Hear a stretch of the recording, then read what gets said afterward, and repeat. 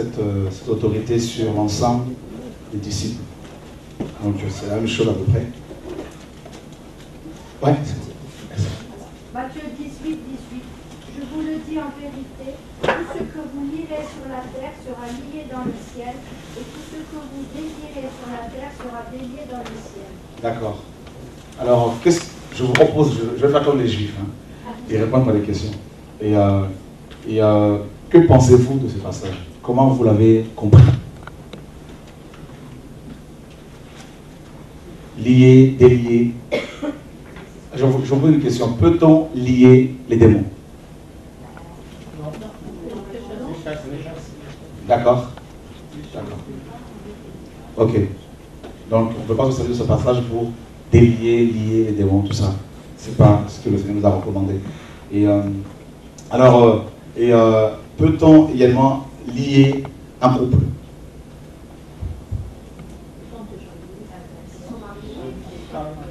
D'accord Mais a-t-il le droit de le lier D'accord. Ensemble Ok. D'accord. Donc délier et lier a un rapport avec euh, scène. En fait, c'est, c'est euh, le Seigneur se servit de la prophétie de d'Ésaïe 22, hein, 22. Donc on pourra et, euh, le lire.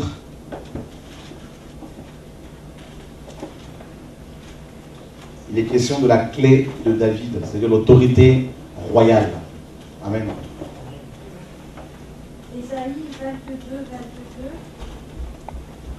Et je mettrai sur son épaule la clé de la maison de David. Quand il ouvrira, nul ne fermera. Quand il fermera, nul n'ouvrira. Voyez? Donc il est question d'ouvrir des portes. D'accord Et non de lier les démons. D'ouvrir des portes. Donc il est question de la clé de David, c'est-à-dire la, la, la clé royale. Vous savez que l'Église a reçu l'autorité royale. D'accord? Il y a un passage dans Luc 21, je crois, si je me trompe. Luc chapitre 21, le verset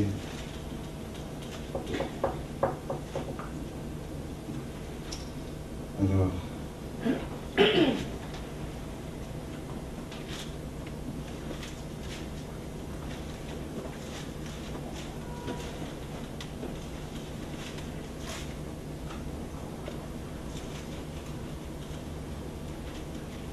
Deux secondes. Ouais, Matthieu 21 plutôt, verset 43.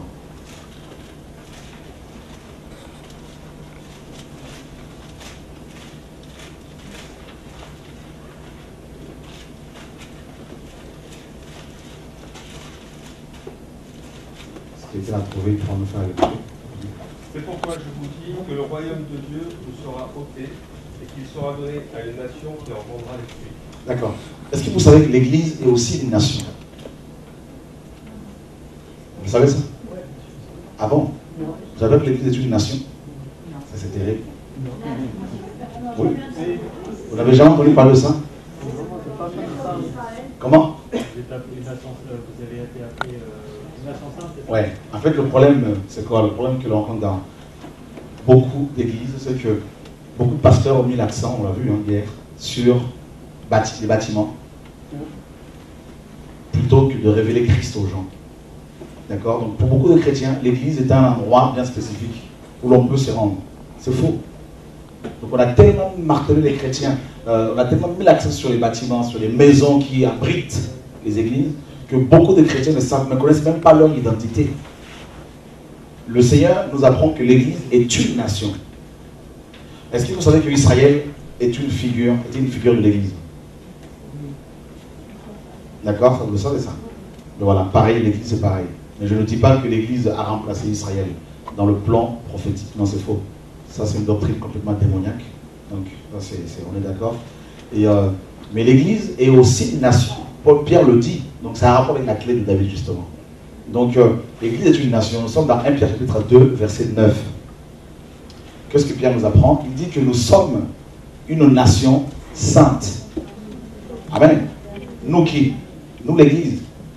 On pourra le lire hein, si quelqu'un a trouvé, parce qu'on va beaucoup lire aujourd'hui. Hein?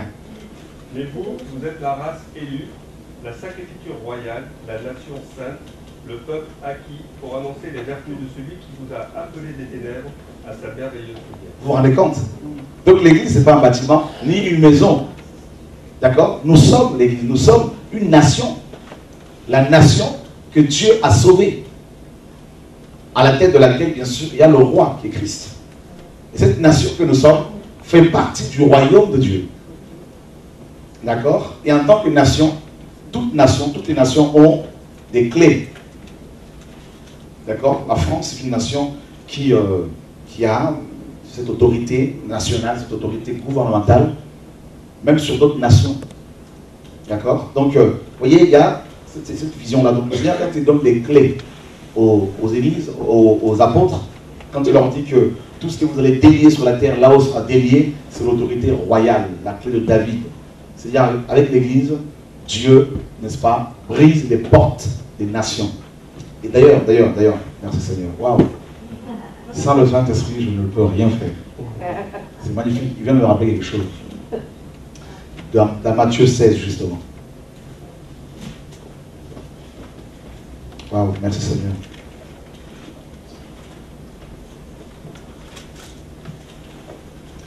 Est-ce que quelqu'un pourra-t-il nous lire rapidement Matthieu 7, 18 et 19 Et moi, je te dis,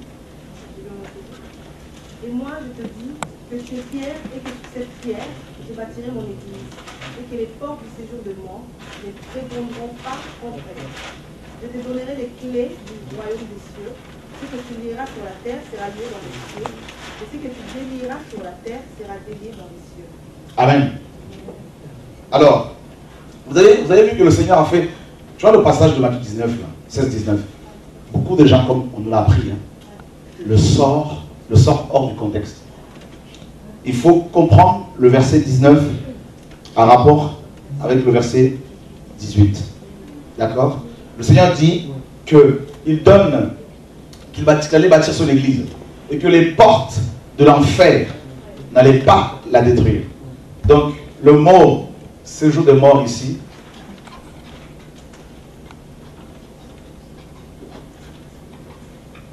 C'est Hadès en grec. C'est le dieu du monde souterrain. Le dieu de des. Donc Hadès, euh, séjour de mort, ou encore euh, l'enfer, ou encore Orcus chez les Romains. Et euh, enfer, l'enfer ou Hadès était un dieu, je dirais le dieu le plus craint chez les Grecs. Il était tellement craint que les Grecs ne voulaient pas prononcer son nom, donc ils utilisaient un euphémisme, euh, c'est-à-dire Pilâtre. Donc ils utilisaient cet euphémisme pour parler des portes de l'enfer. Pilâtre signifie aussi porte close. D'accord? Tellement que les Grecs le craignaient, donc ils ne voulaient pas prononcer ce nom. Donc ils utilisaient cet euphémisme pour parler de, de cette divinité. Et, euh, euh, Pilate, hein, donc c'est pas Pilate, c'est Pilate.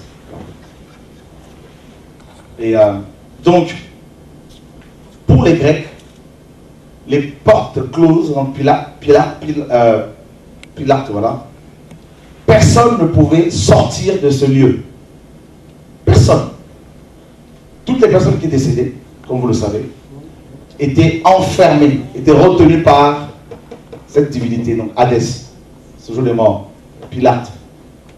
Ces portes étaient tellement infranchissables, que, tellement immenses, que personne, quelle que soit son fonction, ni Abraham, ni Isaac, ni Jacob, ne pouvait sortir de ce monde. D'accord? Et c'était le, le démon le plus craint. Hadès travaille avec la mort, avec le démon des morts. Et l'ennemi le plus puissant, le plus dangereux de l'homme, c'est la mort. D'accord? Face à la mort, nous sommes tous impuissants. Noirs, riches, pauvres, blancs, tout le monde, il passe. Et c'est pour cela que c'est le démon le plus craint. C'était le, démon le, démon le plus craint chez les Grecs. Donc voilà pourquoi le Seigneur, quand le Seigneur est arrivé maintenant, il dit aux apôtres, qui connaissaient bien sûr euh, cette divinité, parce que tout le monde le connaissait dans le monde romain de l'époque. Alors, euh, tout le monde la connaissait. Et là, le Seigneur leur dit justement d'aller bâtir une nouvelle nation. Parce que ce, démon-là dominait toutes les nations. D'accord? Tous les rois de la terre. Et le Seigneur dit maintenant qu'il allait bâtir une nouvelle nation à qui il allait donner les clés de David. Et quand il allait ouvrir les portes, donc notamment ces portes-là, personne n'allait les fermer. D'accord? Et que quand il allait fermer, personne n'allait sortir de là. Ni ce démon-là. C'est pour ça que Satan sera enfermé pendant mille ans dans un abîme. Il ne pourra pas en sortir avant les mille ans. Vous vous rendez compte la puissance que l'Église a reçue, l'autorité que l'Église a reçue en tant que nation, et non en tant que bâtiment, en tant que euh, dénomination. C'est terrible. C'est-à-dire, c'est les clés du royaume des cieux ouvrent toutes les portes, donc même les portes les plus, fermées, les plus closes ne résistent pas, ne pourront pas résister aux clés euh, du royaume de Dieu. C'est terrible, hein C'est pour cela que le Seigneur, quand il est arrivé, qu'est-ce qu'il a fait? Il a réveillé les morts. Pour lui, tout le monde était endormi. Quatre jours après l'enterrement de Lazare, le Seigneur le réveille. Et les portes d'enfer ne pouvaient qu'obéir. Vous rendez compte?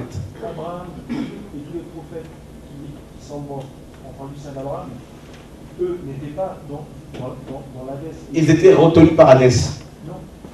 On, peut le lire. Le, le sang d'Abraham, ce n'est pas Abraham. Il ne faut pas voir Abraham comme Abraham, l'homme Abraham. C'est un langage prophétique pour nous parler du Père. C'est tout. On va lire un passage dans 1 Samuel. On va prendre un Samuel. Et Abraham n'était pas en enfer quand il est mort. Il, était où Abraham? Ben, Dans un lieu que Dieu a préparé. C'est quoi ce lieu? C'était quoi? Ben, C'est un lieu. Non, mais est-ce que tu peux donner un passage? N'ai pas les passages en tête. Voilà, mais moi j'ai les passages en tête. Justement. Vous savez que j'aime bien les conférences débat, comme hier. Hein. Et euh, il faut que les chrétiens soient bien enseignés parce qu'on est trop. Voilà, il nous manque la connaissance. Tous ceux qui mouraient avant Christ étaient retenus par Hadès. Tous, sans exception. On va le voir. On va le voir. Étaient retenus par le Dieu Hadès, sans exception. Tous. Comment? Les prophètes, tout le monde. Tout le monde. Oui. Mais pourtant, quand, euh, quand euh, Saul était réveillé par, par comment s'appelle le roi, par, par Samuel. oui. Samuel, il a fait revenir de Hardès. Bien sûr. Oui, mais il a après redescendu. Mais juste venu un petit, un petit moment alors. Oui, mais on va le dire justement. Ah oh, on va encore nous bousculer hein, aujourd'hui. Allez, oui. Oui. Enoch et Élie étaient épargnés. Voilà. Pourquoi? Pas les autres Parce qu'eux, ils n'ont pas connu la mort. Donc euh, voilà, c'est aussi simple que ça. La mort physique, on dit hors du corps. Bien sûr. Hors du corps, on continue à vivre. Bien sûr. Est-ce que Dieu, ces, serviteurs qui ont suivi avant la, euh, sous la loi, Dieu va les envoyer euh, dans, un lieu de tourment et de souffrance? Est-ce que tu crois à la parole? Oui. Ok. Moi, je ne veux pas de raisonnement. Mon combat avec beaucoup de chrétiens, c'est que je, je leur dis Prenez vos Bibles, vérifiez. Je suis chrétien et fier de l'être. Nous devons être des hommes et des femmes de la, du livre, hein. Et non des hommes et des femmes qui raisonnent parce qu'ils ont reçu un héritage de leur père. Je ne cesse depuis hier soir de vous dire, depuis hier, de vous dire, soyons des hommes et des femmes de la parole. C'est important. sinon, là, c'est comme ça que naissent les, dénominations, tout ça. Maintenant, prenons la parole du Seigneur dans 1 Samuel, chapitre 28.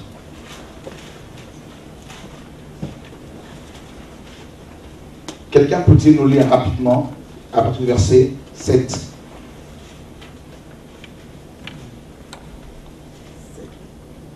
Et Saul dit à ses serviteurs Cherchez-moi une. C'est ça hein? Ouais, Et Saul dit à ses serviteurs Cherchez-moi une femme qui évoque les morts et j'irai la consulter. D'accord. Ses serviteurs lui dirent Voici, à Andorre, il y a une femme qui invoque les morts. Alors Saul se déguisa et prit d'autres vêtements et il partit avec euh, deux, hommes. Ils arrivèrent euh, de nuit chez la femme. Saul lui dit Prédis-moi l'avenir en invoquant un mort. Ça, c'est une dizaine de, mon aventure. Et, euh, fais-moi moi montrer celui que je te dis, celui que je te dirai. La femme lui répondit Voici, tu sais ce que Saul a fait, comment il a retranché du pays ceux qui invoquent les morts et ceux qui prédisent l'avenir. Pourquoi donc euh, tu un piège à ma vie pour me faire mourir?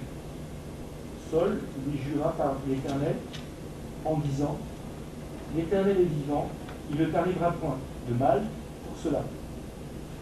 La femme dit Que veux-tu que je fasse monter Et il répondit Fais-moi monter Samuel. Tu veux continuer je Ok, pas de souci, on va t'aider. Quelqu'un peut prendre Ouais. Mhm. Lorsque la femme dit Samuel, elle poussa un grand cri et elle dit à Saul Pourquoi m'as-tu trompé? Tu es Saul. Le roi lui dit Ne crains rien. Et que vois-tu? La femme dit à Saul Je vois un Dieu qui monte de la terre. Il lui dit Quelle figure a-t-il? Et elle répondit c'est un vieillard qui monte et il est enveloppé d'un manteau. Saul comprit que c'était Samuel et il s'inclina le visage contre terre et se prosterna. Samuel dit à Saul, Pourquoi m'as-tu troublé en me faisant monter? Saul répondit, Je suis dans une grande détresse. Les Philistins me font la guerre et Dieu s'est retiré de moi.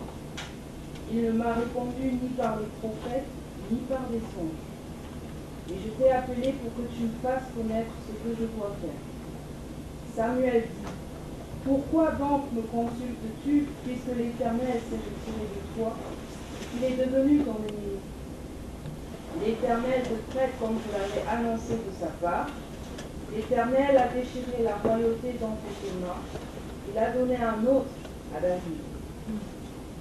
Tu n'as point obéi à la voix de l'Éternel, tu n'as point fait sentir à Hamlet l'ardeur de sa colère. Voilà pourquoi l'Éternel te traite aujourd'hui de cette manière. Et même l'Éternel livrera Israël avec toi entre les mains des Philistins. Demain, toi et tes fils, vous serez avec moi, et l'Éternel livrera le camp d'Israël entre les mains des Philistins. À ton avis, d'où venait Samuel? D'en bas. D'en bas, pas d'en haut, d'en haut. On est d'accord? Il y a un verset qui venu. D'accord. Quand Jésus va parler du riche et du pauvre. D'accord. Lazare et le riche, qui étaient morts tous les deux. Mhm. Il y avait une distance entre Abraham et euh, le riche qui était en enfer. Mhm. pas en enfer directement, à côté, parce que l'enfer, il y a encore personne qui est dans l'enfer. Si ils sont, dans, dans, des chambres de souffrance. Qu'est-ce que l'enfer? C'est un lac de souffre de feu. Non, pas du tout. C'est ce qu'on nous a fait croire, mais c'est faux. L'enfer, ce n'est pas, n'a rien à voir avec le lac de feu. C'est deux choses totalement différentes. Donc, juste, pour revenir ce verset. Encore, juste pour, pour, pour bien éclairer, éclaircir. Abraham il y a une distance que celui qui était dans ce Bien sûr. ne pouvait pas avoir accès. Bien sûr, t'inquiète, on va parler de ça. Ça. Il n'y a pas de problème. On va, on va parler de ça justement. Le problème, c'est que je sais que beaucoup de doctrines tombent. hein. Beaucoup de choses qu'on nous a enseignées. mais Je crois que c'est pas seulement ici à Nice. hein. Ça secoue. Moi-même, ça m'a beaucoup secoué, me secoue toujours. Ouais, euh, déjà, le mot séjour des morts, en grec, c'est Hadès. D'accord? Hadès a été traduit en français par séjour des morts, enfer, Orcus. Donc, présentement, toutes les personnes qui décèdent, les païens, depuis la résurrection de Yeshua, tous les païens sont en enfer. C'est-à-dire dans le séjour des morts. En, en hébreu, She- Sheol. D'accord? C'est un lieu provisoire. D'accord? On va le voir tout à l'heure. C'est un lieu provisoire. Et prends-moi rapidement, s'il te plaît, pour, pour bien éclaircir là-dessus. Après, on va continuer. Apocalypse chapitre 20, verset et, euh, 14.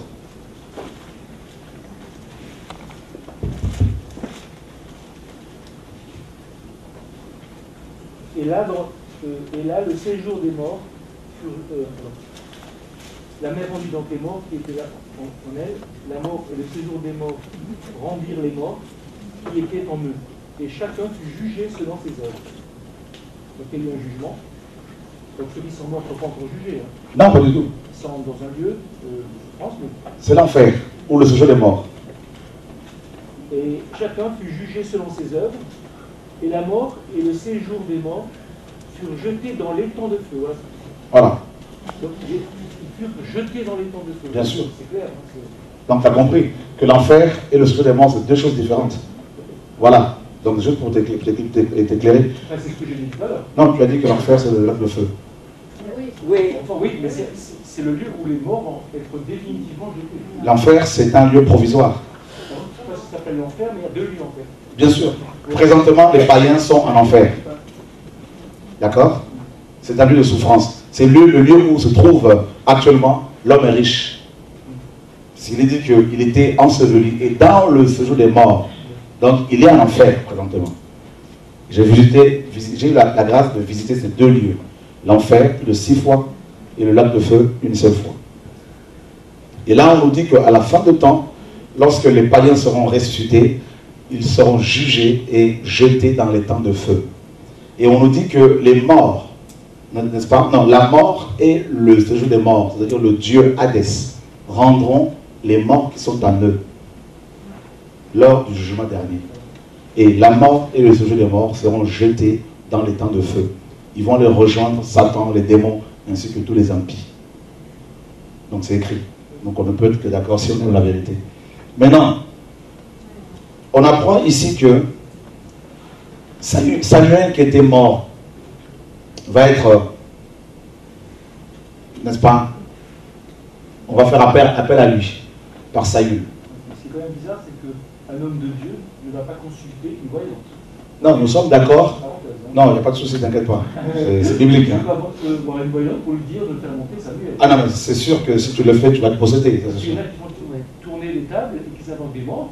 Et il y a, hein, euh, il peut y avoir le possible. euh, j'ai- entendu des cas où euh, la, personne prenait la voix de- du, du général de Gaulle, il prenait la voix. Donc les démons se, se, se mettent là et portent la voix euh, d'autres personnes. Donc les gens, les croient que c'est de Gaulle, mais c'est des démons. Donc là, c'est. euh, C'est pas toujours les démons. Ça, ça, ça, c'est encore autre chose. il y a des esprits humains aussi qui ne sont pas sauvés. Bien sûr. Donc les, des personnes décédées. Bien sûr. Maintenant, Et, je ne sais pas si les personnes décédées, une fois qu'ils sont décédés hors de leur corps, peuvent revenir. Je pense qu'ils partent- qu'ils descendent dans, ce lieu, pour eux, c'est pas. Ça, ça, ça, c'est, ça, c'est Peut-être, pas, pas ce que la Bible dit. Peut-être qu'ils peuvent peut-être revenir, mais je ne sais pas. C'est- c'est- bibliquement parlant, je peux te le prouver aussi. Voilà. Euh, il faut aller euh, sujet par sujet pour. Voilà. Je sais que sinon, on ne s'en sort pas, effectivement. Gloire à Dieu. Donc, euh, et, euh, donc, on apprend ici que Samuel, qui était un prophète de Dieu, d'accord, était dans le séjour des morts, Sheol à l'époque, donc en hébreu. ou encore enfer. C'est pas moi qui le dis. C'est la Bible. Et qu'est-ce qu'on apprend également? Samuel, quand, euh, une fois qu'il a été, une fois qu'il fut remonté, il dira à Saül, demain, tes fils et toi seront avec moi. C'est écrit. Pourtant, il était euh, Saül, Dieu n'était plus avec lui. Donc on pouvait, on peut le considérer comme un, païen. Et Samuel lui dira que tu seras avec moi demain. Donc toutes les personnes qui décédaient euh, avant l'avènement du Messie, avant, avant Christ, allaient en enfer. Maintenant, les, croyants étaient dans le sang d'Abraham, c'est-à-dire c'était le séjour des morts, mais un endroit provisoire où ils attendaient justement la résurrection, la, libération par la résurrection de Yeshua. D'accord, et dans celui-là, je ne pense pas qu'ils étaient en train de souffrir. Non, pas du tout. Par, rapport aux païens, aux, païens, les païens, par contre, ils, souffraient, comme c'est le cas toujours aujourd'hui. Mais par contre, les croyants, non. Et euh, on va prendre Ephésiens chapitre 4, verset 7. Ephésiens 4, 7 à 9. N'hésitez pas si vous avez des questions à poser avant l'enseignement de tout à l'heure sur, la, sur Babylone. Ephésiens 4, 7 à 9. Mais la grâce est donnée à chacun de nous selon la mesure du don de Christ. C'est pourquoi il est dit, étant monté en haut, il a emmené captive une multitude de captifs, et il a distribué des dons aux hommes. Or, que signifie il est monté si ce n'est qu'auparavant, il était descendu dans les parties basses de la terre Et que Celui qui est descendu, c'est le même qui est monté au-dessus de tous les cieux, afin qu'il ait rempli toutes choses.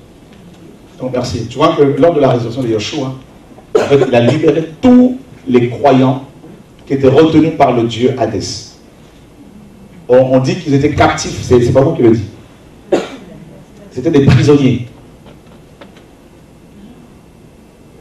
C'est pas moi qui le dis.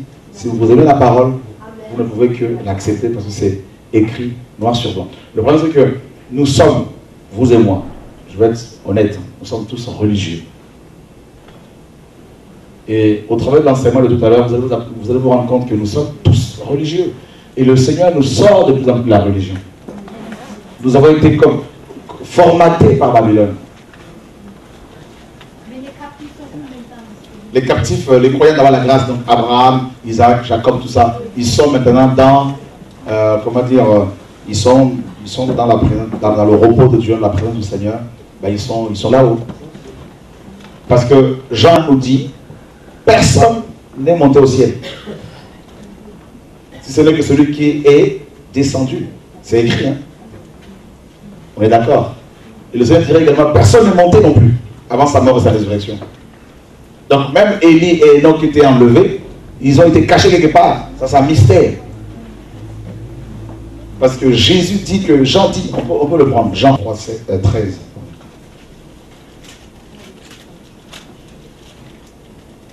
Personne n'est monté au ciel, sinon celui qui est descendu du ciel, le Fils de l'homme qui est dans le ciel. Voilà.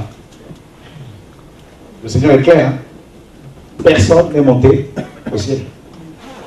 Personne. Depuis la chute d'Adam, la porte du ciel était fermée. Et il fallait attendre la résurrection du Messie pour de nouveau ouvrir le chemin. C'est le cas que Enoch et Élie ont été enlevés. au ciel, ce qui est écrit, mais une chose est sûre, moi, il y a beaucoup de mystères la porte du ciel était fermée. Le Seigneur a dit personne. Quand il dit personne, c'est personne. Dieu seul sait. Mais moi, je sais que la parole ne se contredit pas. On va prendre encore Hébreu 9. La porte du ciel s'est ouverte lors de après la résurrection de Yeshua. D'accord?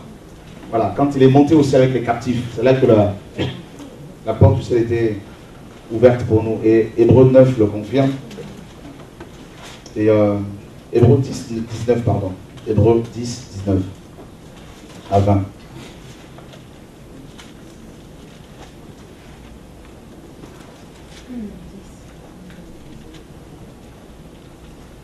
Ayant donc, frères, la liberté d'entrer dans le sanctuaire par le sang de Jésus, chemin nouveau et vivant qui nous a frayé à travers le voile, c'est-à-dire à travers sa chair. Mhm.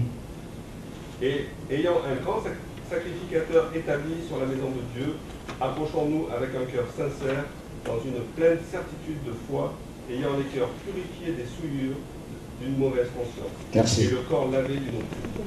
C'est clair, hein? Le Seigneur a frayé une nouvelle route pour nous. C'est ce que la parole dit. Voilà. Euh, dans le passage de Luc 16, euh, il est dit que le- la- euh, Lazare était conscient. Bien sûr. Et dans Ecclésias 9, euh, il est dit que euh, n'y a ni œuvre, ni pensée, ni sagesse dans le séjour des morts. Tout à fait. Tout à fait. Donc, moi je comprends que là, dans Ecclésias, il est dit que bon, il est plus conscient, le mort. En fait, quand Ecclésiaste dit cela, ce qu'il faut comprendre, c'est que le séjour des morts signifie aussi tombe. Le corps physique qui est dans la tombe, là, eh c'est sûr que ce corps-là est complètement inerte, complètement inconscient, il n'y a plus de pensée, il n'y a plus de... C'est fini ça. Mais l'âme, c'est autre chose. L'esprit, voilà. On peut faire la, la part des choses. C'est bon, ça c'est clair? Ok, parfait. Alors, J'ai une question qui, qui m'a tour- tourmente un, un bon moment déjà. Euh, on meurt, en France et par ailleurs, il faut. les gens- on meurt, on est enterré ou on est brûlé. Alors ça m'a tellement tourmenté. J'ai demandé plusieurs serviteurs de Dieu, des amis et tout. Et, euh, je me suis dit, eh ben, si on est brûlé, ça coûte peut-être moins cher parce que quand tu n'as pas de sous, il faut 2500. Non, non, c'est sérieux, 2500 euros pour le faire enterrer. Et quand tu. Je veux savoir la vérité c'est pas fini. Alors je me suis dit, il faut que je fasse un contrat avec, je sais pas, IRSEM ou la banque, tout ça, je fais 40 euros, 25 euros par mois. Comme ça, mes enfants qui n'ont pas de sous, ou qui peut-être un jour ont de sous, peuvent, peuvent me pas enterrer, ou peuvent m'enterrer pour avoir un capital. Après, je me suis dit, Seigneur, il faut que je fasse confiance. Alors les compas à moi, c'était terrible. Et peut-être vous allez profiter parce qu'on va avoir la vérité maintenant. Alors les, les, les autres me disent, non, on- cette païenne, on ne peut pas, un cours, c'est païenne. Alors je lui ai dit, écoute, celui-là qui coule, il ne pouvait pas un requin parce qu'il est en grande tempête, ou qui est brûlé vivre dans les maisons, euh, et c'est pas contre pas sa volonté. Mais oui, justement, ils m'ont dit, un pasteur, parce que c'est pas sa volonté, Dieu lui pardonne.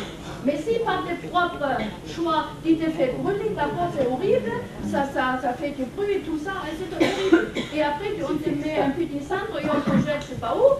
Alors, croyez-moi, mais c'est vraiment, ça me tourmente, je vous le dis, parce que c'est... Là, on, on, on condamne les gens. Là, c'est, voilà, Non, non, non, alors comment il faut faire? Est-ce- c'est, euh, non, mais- Pour être purifié Oui, mais... Il y en a qui disent, bah oui, mais si tu deviens du cendre, tout ça de la cendre, alors comment le Seigneur pourra-t-il se, prendre pour pouvoir te. Voilà, te recomposer? Là-dessus, la, parole ne dit rien. D'accord? Donc, euh, maintenant, chacun est libre. hein. Il y en a à qui le Seigneur dira, ne vous faites pas incinérer. D'autres, le Seigneur ne va pas forcément leur donner des ordres là-dessus. Mais chacun doit avoir cette liberté. C'est- justement ça l'évangile. D'accord? Lorsqu'il n'y a pas une, une doctrine claire sur un sujet, ben en fonction de l'appel des uns des autres, le Seigneur va vous parler. Maintenant, si le Seigneur te dit, par exemple, ne te fais, ne pas incinérer, il ne faut pas en faire maintenant une doctrine pour imposer, l'imposer aux autres. Et voilà, parce que les chrétiens, beaucoup de chrétiens euh, étaient brûlés vifs. hein. Voilà, ah oui, et comment ils vont-ils faire? Donc, euh, voilà, sentez-vous libre. Voilà. Si vous pensez que vous, avez, vous voulez vous faire incinérer, vous êtes libre. Si le Seigneur vous dit non, ben ne le faites pas. Voilà. Moi, mon corps, là, peu importe, même si je décède aujourd'hui, là, euh, vous voulez donner mes organes aux gens, il n'y a pas de problème. Voilà. Ah oui, ça aussi, c'est un autre sujet hein, qui, qui- qui est tabou. hein. Le Seigneur a dit le sang, on peut donner le sang, du sang, il n'y a pas de problème. On, on- on prie pour qu'elle soit, qu'il soit sanctifié, il n'y a pas de problème. Tu sais On va être biblique. J'aime la, j'aime la parole. On va être biblique. Alléluia. Prenons la parole. Ah oui, mais c'est ça. Alléluia. Jean 15, 13. personne n'est plus grand amour que de donner sa vie. Ah, l'amour. Dieu a tant aimé le monde qu'il a donné, qu'il nous a donné sa vie. Et nous devons aimer comme Dieu aime. Il n'y a pas de plus grand amour que de donner sa vie à ses amis. D'accord? Et dans Lévitique 17, 11 à 14, il est dit que la vie, c'est le sang. D'accord? Vous êtes là, votre fils est en train de mourir. On vous dit que votre sang est compatible au sien. Et que si vous lui, on lui faites une transfusion, il va continuer à vivre. Vous faites quoi?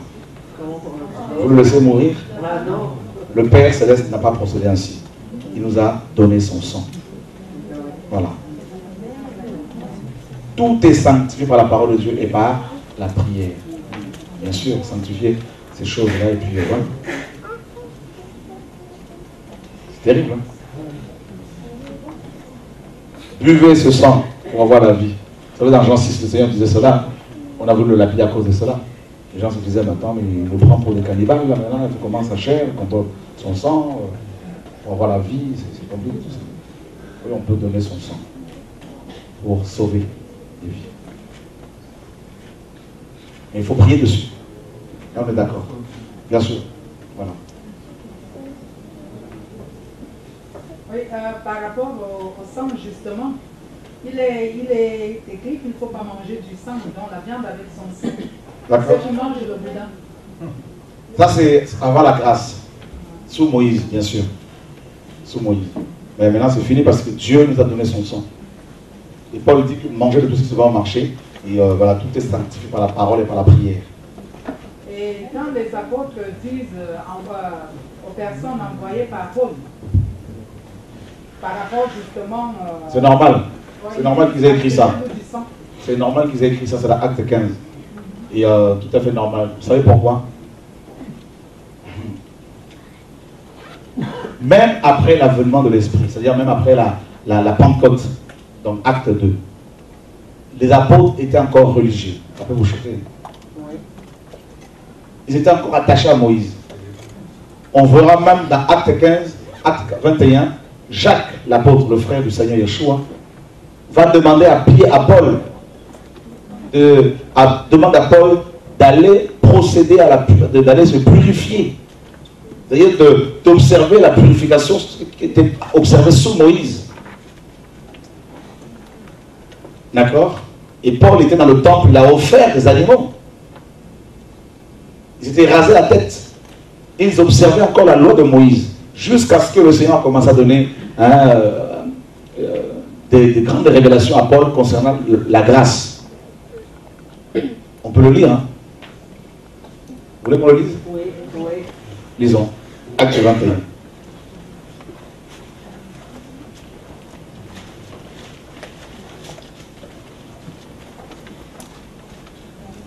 Verset 21, euh, 27 euh, à 26.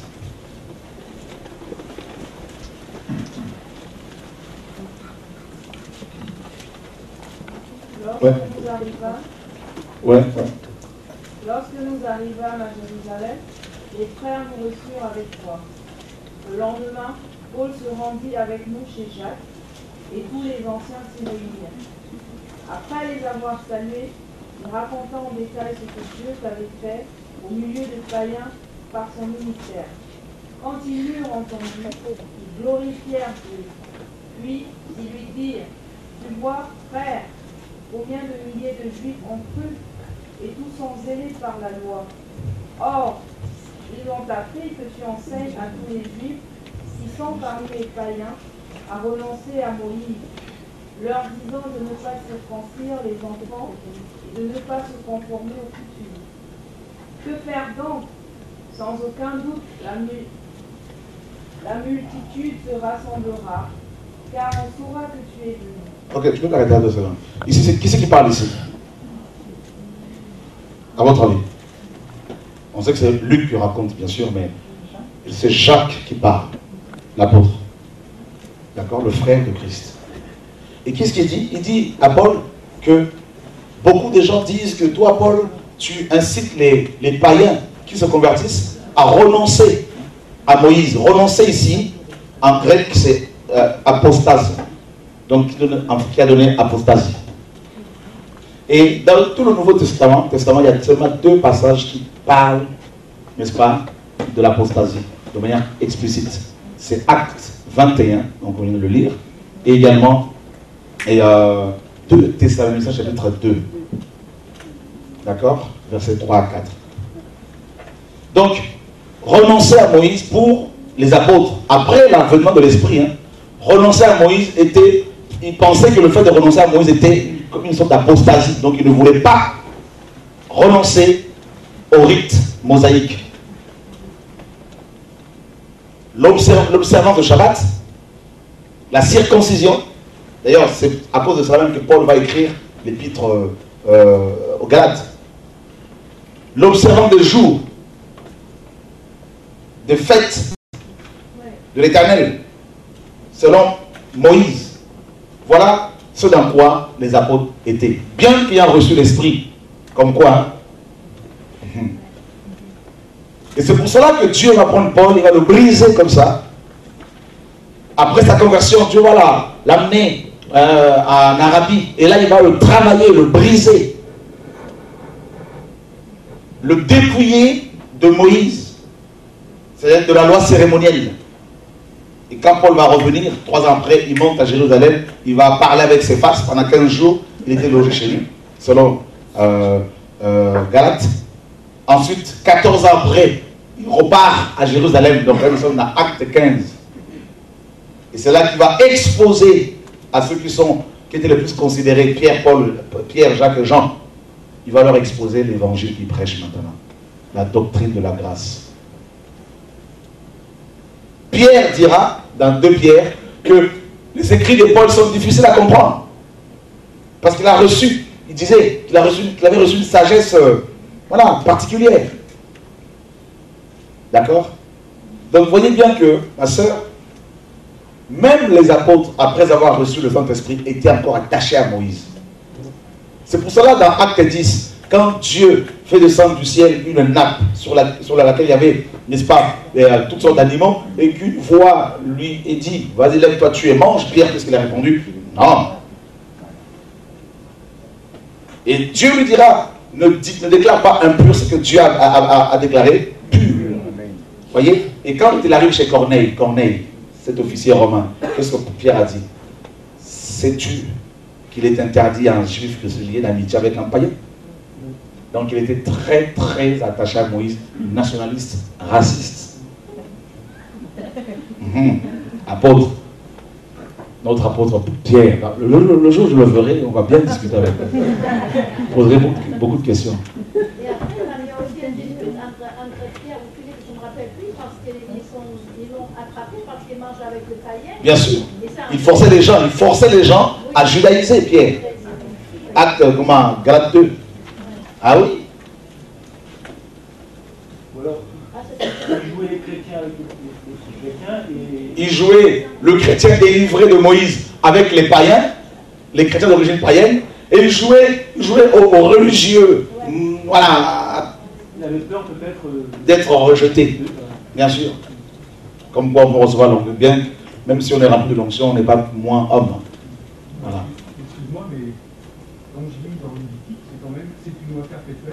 Bien, évidemment. Je suis tout à fait d'accord avec toi, mon frère. Je suis tout à fait d'accord avec toi parce que c'est écrit. Mais le problème, c'est qu'on est biblique. Et je vais te serrer la main. Alléluia. Alors, je vais te montrer beaucoup d'autres lois qui étaient perpétuelles.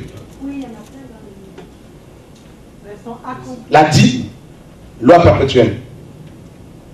L'observance de Shabbat, loi perpétuelle. Et euh, le fait d'aller prier à Jérusalem, loi perpétuelle. En fait, quand Dieu dit que c'est une loi perpétuelle, qu'est-ce qu'il entend par là? Dieu n'a pas le même langage que nous. C'est ce qu'il faut comprendre. C'est vraiment important de le savoir. Dieu ne parle pas comme nous.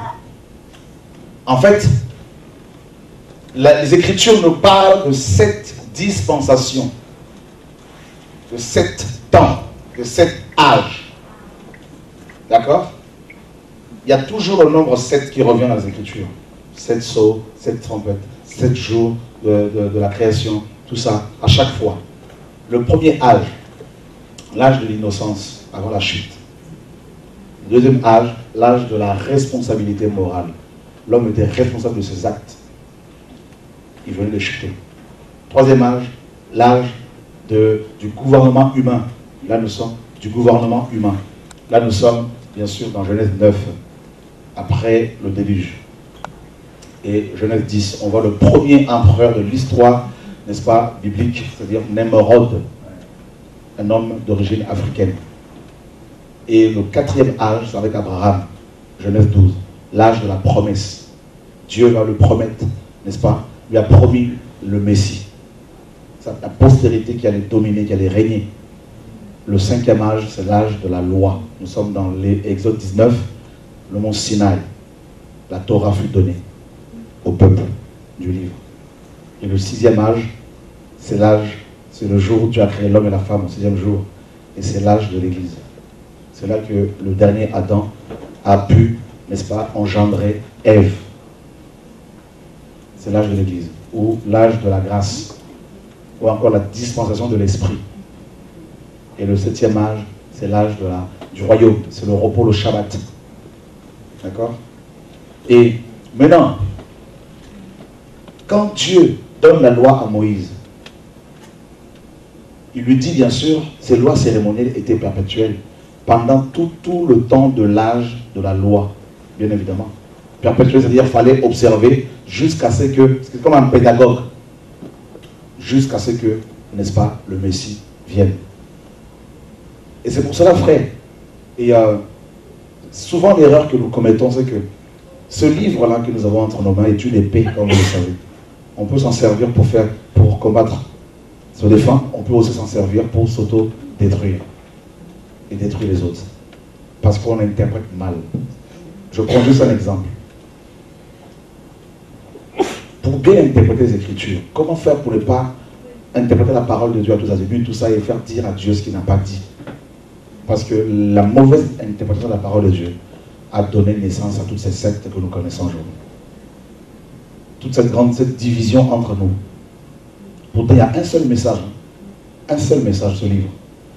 Rien qu'aux États-Unis, il y a plus de, plus de 32 000 dénominations. Rien qu'aux États-Unis. Qui se servent de ce livre? Rien qu'avec ce livre, il y a eu plus de 30 millions de, victimes chez les protestants.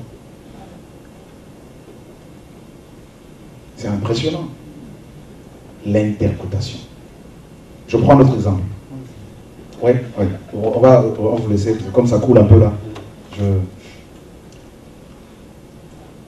C'est d'ailleurs le livre, un de mes livres qui va, un de mes prochains livres c'est le langage de Dieu. Le langage de Dieu.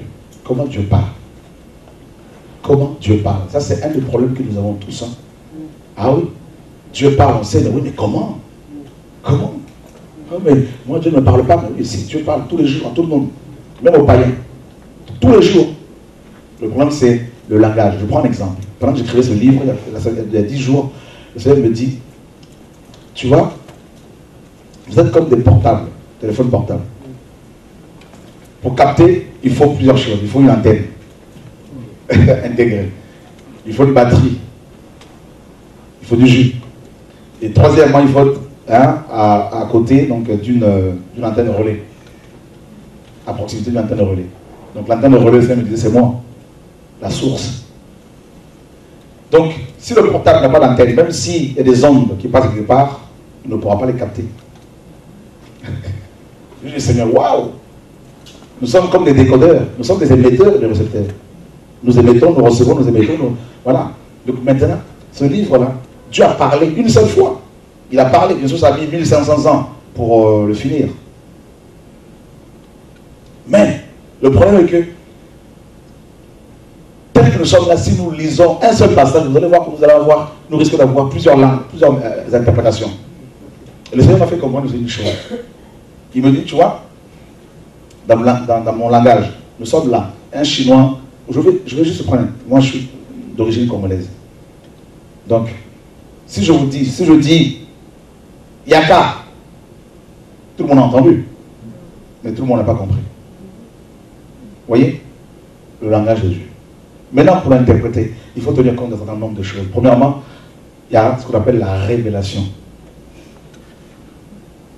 Apocalypse en grec. Action d'ôter le voile. Ça vient du verbe apocalypto. C'est-à-dire ôter, enlever le voile, éclairer. La révélation égale ce livre. C'est une révélation. Donc il n'y a plus de nouvelles révélations que nous recevons. Le canon biblique est déjà est complet. Donc il n'y a plus de révélation. Deuxièmement, il y a ce qu'on appelle l'inspiration. Toute écriture est inspirée de Dieu. Et troisièmement, il y a ce qu'on appelle l'illumination, photizo en grec. Donner, rendre évident. Nous avons besoin de, l'illumination pour comprendre la révélation. C'est pour cela qu'une personne peut avoir bac plus 40. Si elle n'a pas l'Esprit de Dieu, elle ne pourra pas comprendre ce livre. Elle va, le, elle va le comprendre intellectuellement, mais elle ne pourra pas percer la révélation, cette révélation. Donc il lui faut une illumination qui vient de l'Esprit de Dieu. Ça, c'est les trois choses principales à connaître avant pour qu'on comprenne les Écritures. Il est dit par rapport à Daniel que, en fait, Dieu lui envoie Gabriel dans Daniel 9, 22. Daniel lui dira, euh, Gabriel dira à Daniel, j'ai été envoyé pour ouvrir ton intelligence, littéralement ton esprit, pour comprendre la révélation. Et dans Luc chapitre 24, verset 45, il est dit que le Seigneur a ouvert l'esprit des apôtres afin qu'ils comprennent les Écritures. Donc on ne peut pas le comprendre, ce livre, en allant dans les écoles théologiques. C'est l'erreur que commettent beaucoup les pasteurs. C'est pour ça qu'ils sont complètement endoctrinés, ils sont complètement envoûtés. Et quand ils sortent de là, ils vont envoûter les gens qui les écoutent. Ils, pensent être sauvés, mais ils sont complètement envoûtés. C'est l'esprit Babylonien, on va le voir tout à l'heure. Autre chose. Donc on a besoin de l'esprit pour comprendre ce message. Le Luc éthiopien lisait le prophète Esaïe dans Acte 9. Il était instruit, mais il ne comprenait pas ce qu'il lisait. Il fallait quelqu'un qui avait reçu l'illumination pour lui expliquer la parole. Apollos enseignait exactement sur la, sur la personne de Christ. Mais quand euh, Aquilas et Priscille l'ont entendu, dans Acte 18, il est dit qu'ils lui ont exposé avec exactitude l'enseignement de Christ. Maintenant, il y, a, il y a aussi le contexte historique qu'il faut respecter. Parce que c'est aussi l'histoire, un, livre historique. C'est un livre prophétique, un livre historique parce qu'il y a une histoire derrière. Quand on parle des Corinthiens, il y a une histoire. Quand on parle de l'église des Fès, il y a une histoire. Et on trouve cela dans les actes d'apôtres. Il y a aussi il y a le contexte linguistique. Ceux qui veulent défendre cette doctrine, il faut d'abord qu'ils soient remplis de l'esprit. S'ils ont la possibilité, ce serait bien qu'ils travaillent tout petit peu le grec et l'hébreu. Et c'est pour cela que beaucoup de gens n'ayant pas reçu une bonne, une bonne instruction, n'étant pas remplis véritablement de l'esprit, essayent d'expliquer ce livre étant prophète, apôtre, docteur, évangéliste, tout ce que vous voulez, eh bien, il faut dire à la parole ce qu'elle ne dit pas. Yeshua, dans Matthieu 5, 4, dans Matthieu 5, il se retrouve sur la montagne. je crois que c'est la montagne des Oliviers. Et la Bible dit qu'il va enseigner en disant, vous avez appris, mais moi je vous dis. D'accord? Vous avez appris, mais moi je vous dis. Il est en train de changer le paradigme, il est en train de changer, d'accord? Euh, de modifier les choses. Et dans l'enseignement de Yeshua, justement, il a enseigné quoi? Il a enseigné l'amour. Deux choses, deux commandements. Tu aimeras le Seigneur ton Dieu de tout ton cœur, de toute ton âme, de toute ta force. Et tu aimeras ton, pour ton prochain comme pour toi-même. C'est tout. Donc celui qui aime Dieu ne va pas voler, ne va pas haïr, ne va pas tuer, donc, et c'est pour cela qu'à chaque fois, Moïse disait, c'est une loi perpétuelle, c'est par rapport au temps de, la, de le temps qui leur était imparti, au temps de la loi. Et c'est pour cela que, comme je disais, le mélange de la loi et de la grâce, la confusion qui règne dans, dans, le, milieu, dans le milieu évangélique, cette confusion fait que beaucoup de chrétiens commencent à faire leur pèlerinage maintenant à Jérusalem. Beaucoup commencent à observer le Shabbat selon Moïse beaucoup commencent à porter même des, des, comment croix, école de David, de tout ce que vous voulez, ils mettent ça sur euh, leur porte. C'est de la sorcellerie chrétienne tout ça. Parce que nous sommes, quelqu'un disait hier, je pense que c'est toi, nous avons besoin d'images, de palper. C'est comme ça que nous sommes. Nous, nous utilisons nos cinq sens pour, pour, euh, fonctionner. Nous voulons voir, nous voulons entendre, nous voulons toucher, nous voulons goûter. Or, la foi est au-dessus de, ces, de, voilà, de nos sens. Et c'est ça souvent l'erreur. La loi et la grâce. La loi et la grâce. Une confusion.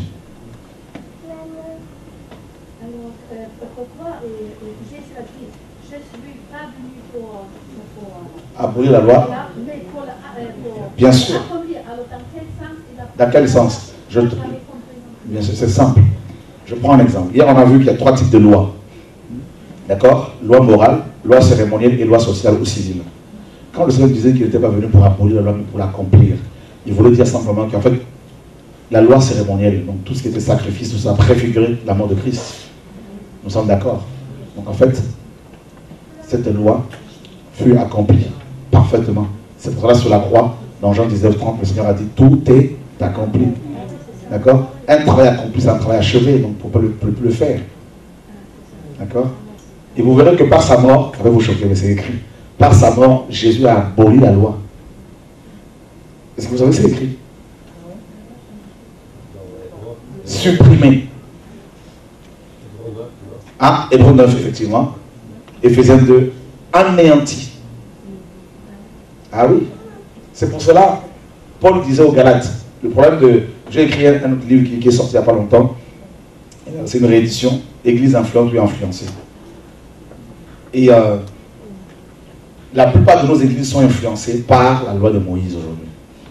Par le péché, bien sûr, la loi de Moïse, par le catholicisme romain. Et euh, hier, on a parlé, parlé peu de la Trinité. Donc il y a toute cette influence-là, comme du, du, levain qui, a fait lever la pâte.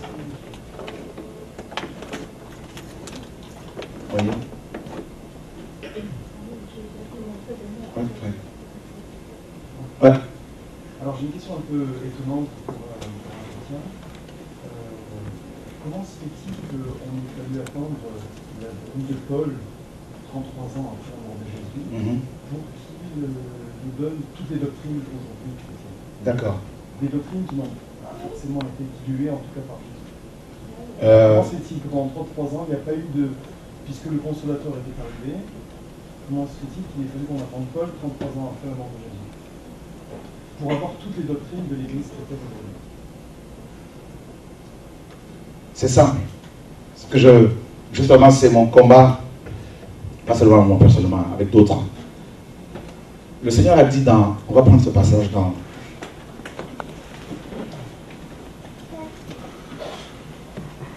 vous n'êtes pas fatigué Non. Ah ouais? Alors, Marc chapitre, chapitre 2. Verset 22. Quelqu'un pourra-t-il nous le lire?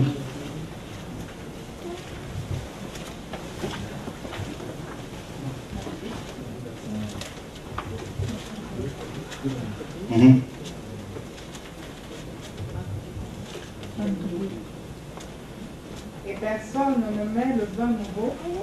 dans le vieux vaisseau. Autrement, le vin nouveau rompt les vaisseaux et le vin, et le vin se répand. Et les vaisseaux se perdent. Mais le vin nouveau doit être mis dans des vaisseaux neufs.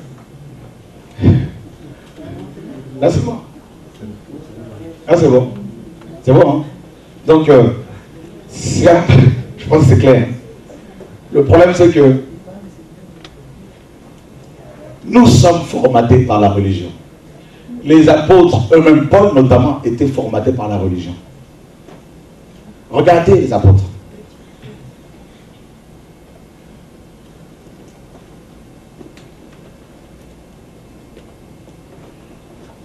Qui sont ceux et celles, à votre avis, qui ont bien interprété le langage du Seigneur concernant la naissance de Yeshua? Les D'accord Simon, ok, ok. D'accord. Je suis d'accord. Parce que Dieu leur a parlé. C'était les magiciens. Les religieux, ceux qui connaissaient la loi, ceux qui attendaient l'avènement du Messie, n'ont même pas interprété, su interpréter cette étoile qui brillait dans le ciel. à cause du formatage religieux. C'était les vieilles outres.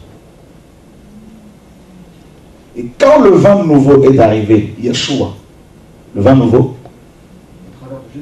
bien sûr, bien sûr, donc euh, on est d'accord, c'est quand il est venu, ils ont éclaté. Ensuite, ma question est pourquoi Jésus n'a pas établi les doctrines humaines? Parce qu'il a dit. Parce qu'il y a des choses qui n'ont pas été dites par Jésus. Il a, je suis d'accord, mais il a dit que l'esprit allait s'en charger. Il a dit aux apôtres, j'ai beaucoup de choses à vous dire, mais vous ne pouvez pas les supporter. C'est écrit, hein Justement parce que c'était les, outres, les outres. En fait, il n'y a pas eu. Y a pas. Hein. Je suis d'accord. Je, me pose la question pourquoi il a fallu attendre 33 ans Parce que justement. Au travers. Parce, pas, pas forcément. Il y, a eu, Pierre, Pierre a reçu de grandes révélations. On est, quand même beaucoup sous la doctrine de Paul. Je suis d'accord. Mais parce que justement. Globalement. Effectivement. Parce que Paul était cet outre-là qui s'est laissé travailler, qui a accepté d'être brûlé. Pierre aussi, tout ça. Mais Pierre, le Seigneur les a laissés sur euh, Israël. Parce voilà. Que, ouais, parce, que, parce, que, parce que tout à l'heure, tu, tu parlais de Jacques, du verset de Jacques, euh, qui disait à Paul, mais attends, Jésus n'a pas dit ça. Parce qu'il s'étonnait lui-même que vous avez du sang. Il s'étonnait lui-même que, que, Paul finalement donne euh, une direction, je dirais, euh, chrétienne, mm -hmm. alors que Jésus n'avait pas du tout ni marqué ni exercé rien du tout. Mm -hmm. Et parce que le Seigneur était, était, venu pour les Juifs au départ, pas pour les païens. Oui, mais nous, on se se D'accord. Le problème, c'est que Paul, Paul a reçu de Jésus. Oui. Voilà. Ça, c'est que nous, chrétiens, vraiment, on dit. Non, c'est ce que Paul lui-même dit, c'est ce que la parole dit. Oui, oui. Voilà. Donc, euh, voilà. Le Seigneur, quand il est arrivé, il y a des choses qu'il ne pouvait pas parler avec les aveugles, il ne pouvait pas les supporter. Il a dit, quand il annonce sa mort, Pierre le prend, de, le prend pas. Ah, je ne vais pas mourir, Seigneur. Ah non, non, moi j'ai tout quitté pour te suivre. Je ne peux pas mourir. Pourtant, quelques secondes avant, il, il avait reconnu comme étant le Messie. Pierre, après sa conversion, après l'avènement de l'Esprit, comme on l'a vu, Dieu lui dit, lève-toi, tue. Il dit, non, non, non, non. On ne va pas Paul agir ainsi. Les apôtres de Jérusalem, acte 11, quand ils ont su, quand ils ont appris que Pierre était parti chez Corneille, ils lui ont fait des reproches. Tu vois, non? Et c'est pour ça que le Seigneur a dit, vous allez rester à Jérusalem. Et il prend Paul, il le travaille, parce que aussi certainement Paul, son père, était d'origine romaine. Voilà. Et euh, il le prend, il le travaille, il le brise, et il envoie aux nations avec ce message. Parce qu'il s'est laissé briser, parce qu'il a accepté. Le problème, c'est que on, est chrétien, hein, mais vous verrez que tu verras que beaucoup de chrétiens sont devenus des outres, de vieilles outres. Quand Dieu veut leur donner une nouvelle pensée, qui n'est pas nouvelle, mais quelque chose qu'ils n'ont pas forcément bien compris. Je prends l'exemple de la dîme, par exemple. Combien de pasteurs qui aiment réellement le Seigneur ne sont-ils pas, ne s'opposent-ils pas à l'enseignement sur la dîme, comme étant une pratique de la loi? Pourtant, beaucoup parmi eux aiment Dieu. Je comprends par rapport à ça, c'était ma question aussi. Exact. Quand vous dites que la dîme, euh, c'est des pratiques de la loi. C'est pas moi qui le dis. C'est la parole. La parole nous dit apporter dans la maison du Seigneur. C'est très intéressant. Est-ce que tu peux, tu peux, tu peux t'avancer s'il te plaît? Tu es intéressante. C'est pas grave. Bon. C'est Malachie 3.10, n'est-ce pas? Est-ce que tu peux le lire? Nous sommes ici jusqu'à 22h, c'est ça? Serge, oui. Alors, apporter à la maison du trésor toutes les dîmes, afin qu'il y nourriture dans la maison. -hmm. Mettez-moi de la sorte à l'épreuve, dit l'Éternel des armées, et vous verrez si je fais pas pour vous les excuses de ce Et si je ne pas pour vous la bénédiction à la Apporter à la maison du, du trésor toutes les dîmes. Je te pose une question. Qu'est-ce que la maison du trésor?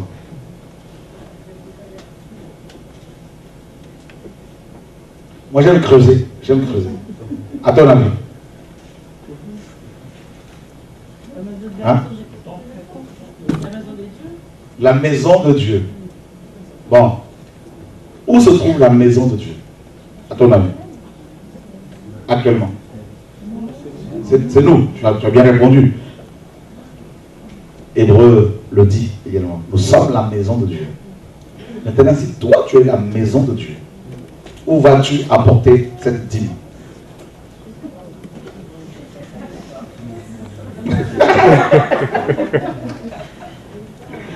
Ok. Bon. Autre chose, il faut se poser une deuxième question. Donc, on a identifié la maison de Dieu. En fait, c'était des magasins qui se trouvaient dans le temple. Donc, un endroit où on mettait des, des offrandes, tout ça. Maintenant, de quel dîme Dieu parlait-il ici? Parce qu'il y en avait quatre. Est-ce que tu peux rapidement nous prendre Néhémie chapitre 10, versets 35 à 39 Comment? Comme je fais beaucoup de débats, ici et là, le Seigneur m'a beaucoup aidé. chapitre 10, versets 35 à 39. Néhémie, chapitre 10, 39, 35 à 39.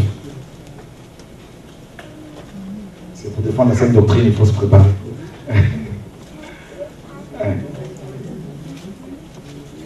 Néhémie, c'est... Euh... Ouais. C'est bon, tu l'as trouvé Ou sinon, quelqu'un pourra le lire, il n'y a pas de souci. Ouais, tu peux aller. Nous résolûmes d'apporter chaque année à la maison de l'Éternel les prémices de notre sol et les prémices de tous les fruits, de tous les arbres, d'amener à la maison de notre Dieu aux sacrificateurs qui font le service dans la maison de notre Dieu, les premiers-nés de nos fils et de notre bétail, comme il est écrit dans la loi, les premiers-nés de nos bœufs et de nos brebis, d'apporter aux sacrificateurs dans les chambres de la maison de notre Dieu, les prémices de notre pâte et nos offrandes, des fruits de tous les arbres, du mou et de l'huile, et de livrer la dîme de notre sol aux Lévites qui doivent la prendre eux-mêmes dans toutes les villes situées sur les terres que nous cultivons. Le sacrificateur, fils d'Aaron, sera avec les Lévites quand ils lèveront la dîme, et les Lévites apporteront la dîme de la dîme à la maison de notre Dieu, dans les chambres de la maison du trésor. Ah Quelle est la dîme qui était apportée, amenée à la maison du trésor? La dîme de la dîme. Et qui l'a donné cette dîme Les Lévites. Est-ce le peuple ou les Lévites? Les Lévites. On est d'accord avec la parole. Est-ce que ton pasteur est un Lévite? Est-ce que nous sommes des Lévites? Non. Nous sommes des Judéens. Car Christ est sorti de la, de la tribu de Judas. D'accord? Est-ce que tu comprends un peu? Un problème. Ça va faire mal, mon frère. Effectivement, ça fait. Oh là là. Et quand on. voyez, on a appris, on nous a appris à sortir des versets hors, de leur contexte. Donc tu vois déjà ici, on apprend que la dîme de la dîme dont il est question dans Malachie 3.10 n'était pas payée par le peuple, mais par les Lévites. C'était la dîme qui revenait aux sacrificateurs essentiellement. D'accord? Parce qu'ils travaillaient dans le temple. Sais-tu que tu es sacrificateur aussi aujourd'hui? Est-ce que tu le sais ça? D'accord. Donc maintenant, si tu es sacrificateur, à qui dois-tu payer la dîme? Parce que les sacrificateurs ne payaient pas la dîme. C'était les Lévites qui la payaient aux sacrificateurs. Autre chose. Il est dit dans Hébreu chapitre 7, verset 5. Ceux des fils de Lévi qui exercent le sacerdoce ont, d'après la loi, l'ordre de lever la dîme sur le peuple, c'est-à-dire sur leurs frères, qui cependant sont issus des rangs d'Abraham. C'est la loi qui, la loi cérémonielle qui leur donnait cet ordre. D'accord? Et au verset 12, il est dit, le, le sacerdoce étant changé, il y a nécessairement un changement de loi. Nous ne sommes pas sous le sacerdoce lévitique ah, d'Aaron. D'accord? C'est fini ça. Toutes les années, on vous a réclamé vos dîmes par vos pasteurs, on vous a volé. Voilà. C'est tout. on vous met des malédictions, vous, voilà, vous menace, tout ça là. Hein? La, dîme et le c'est fini, c'est du passé, ça, c'est la loi.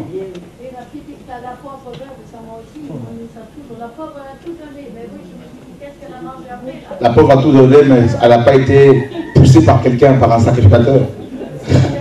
Elle a fait de manière délibérée, contrairement à nos bishops, à nos pasteurs qui nous poussent parce qu'ils Voilà. Voilà. Que chacun donne comme il a résolu en son cœur. Voilà. D'accord? Aux frères et sœurs, aux, pauvres, aux orphelins, aux veuves et aux personnes à qui le Seigneur, le Seigneur vous demandera de donner. À qui Dieu vous demandera de donner. Faites les choses librement. Celui qui aime Dieu ne peut pas ne pas soutenir l'œuvre du Seigneur. Mais il le fera de manière libre. Voilà.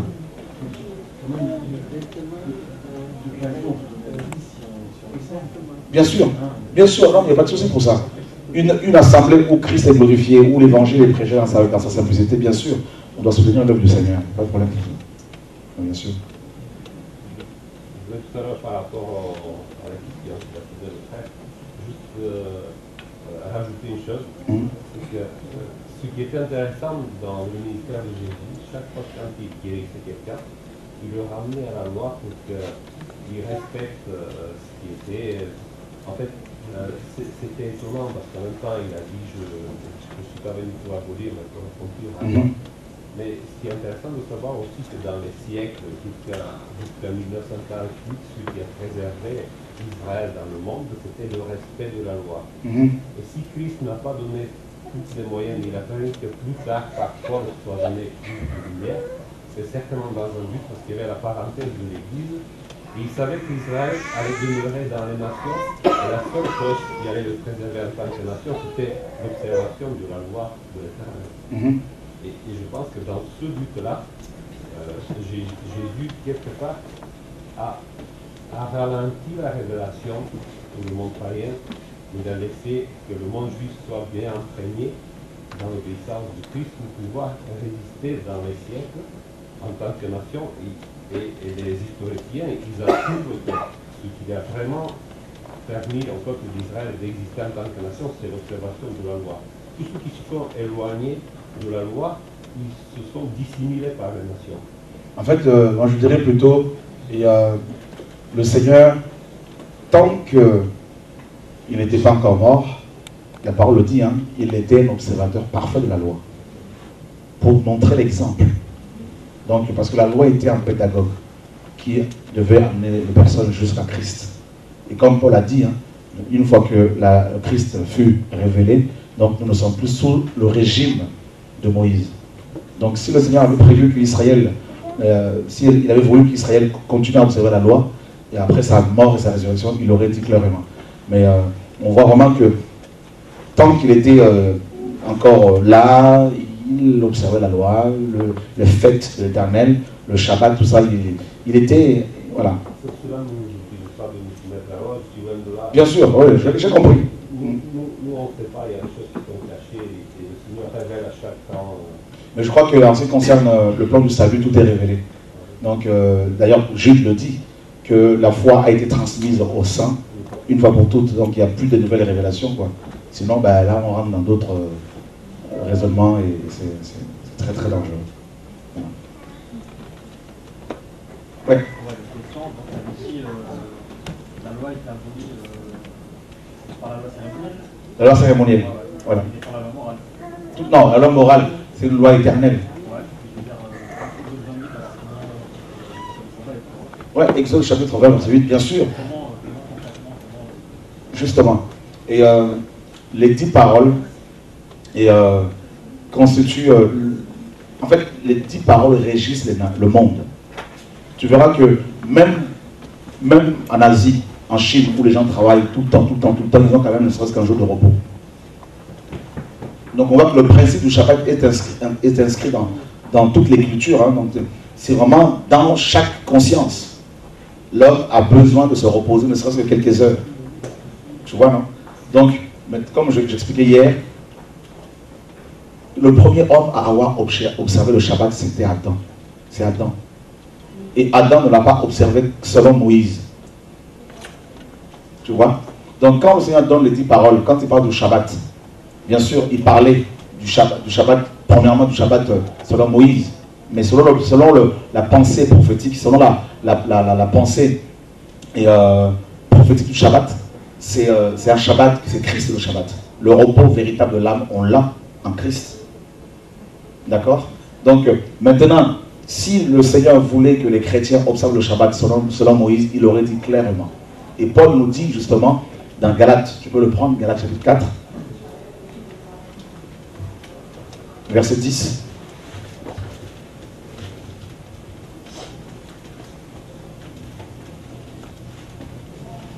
Comme je disais hier, je suis passé par euh, l'adventisme du septième jour.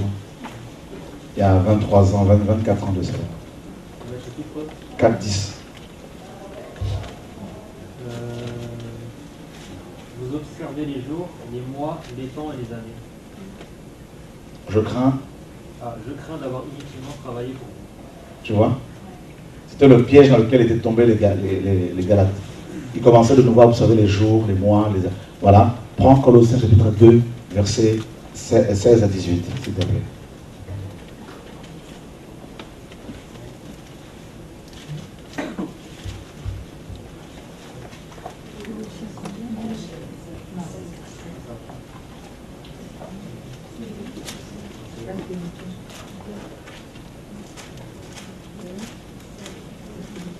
Colossiens chapitre 2, verset 16.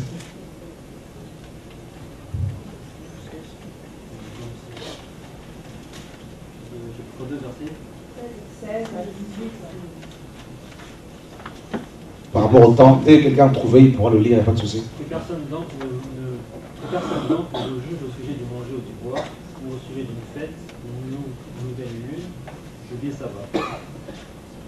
C'était l'ombre de choses à à venir. Le Shabbat était une ombre. Hein. Donc la loi de Moïse, la loi cérémonielle était une ombre. Une ombre qui annonçait Christ. Donc quand Dieu donne la loi, de, la loi à, Moïse, notamment les dix paroles, quand il parle du Shabbat ici, il prévoyait, il voyait le, plusieurs Shabbats. D'abord le Shabbat selon Moïse, bien sûr, qui était observé tout le, une fois par, semaine, hein, donc toutes les semaines. Et puis le Shabbat qui est, est l'œuvre de la croix, tout simplement. Voilà. Et là, on nous dit que Paul nous dit que les sabbats, il y en avait plusieurs, étaient l'ombre des choses à venir que personne ne vous juge en ce qui concerne justement euh, le Shabbat. Et dans Romains chapitre 14, il, euh, on finit par là, il dit quoi? Il dit au verset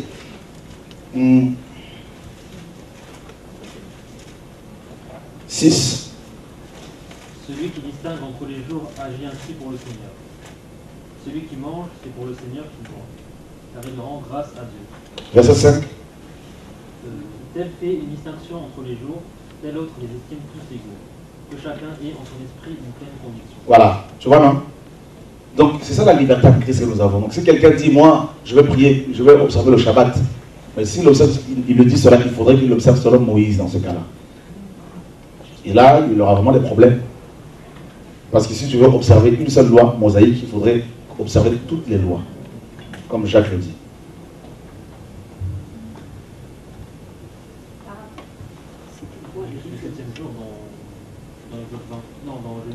Oui. Le septième jour, et prophétiquement, c'est même pas le, samedi. Ça, ça peut encore vous choquer. Nous allons parler de cet âge. D'accord? C'est le royaume. C'est le septième âge.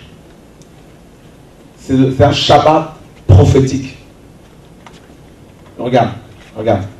Tu vois les sept jours de la semaine le Seigneur s'en est servi, s'en sert. En fait, ça, ça vient de l'homme de toute façon. ça, vient de l'homme. Le Seigneur se sert de ce jour-là comme des prophéties pour nous révéler, nous parler des, temps à venir. Et le Shabbat observé par, par, selon Moïse toutes les semaines annonçait justement le septième jour, le septième âge, le royaume. Parce que dans le royaume de mille ans, il n'y aura plus de mort, plus, la mort, plus la maladie, plus fini tout ça, c'est fini. Tu vois? Pendant mille ans sur terre, c'est l'âge, n'est-ce pas, messianique, c'est le royaume messianique, c'est euh, la paix, c'est le bonheur, c'est euh, voilà, c'est ça le Shabbat. Et Hébreu 4, on nous dit, empressons-nous pour entrer dans ce repos. Donc c'est l'œuvre de la croix, la grâce. Voilà. Ouais, vas-y.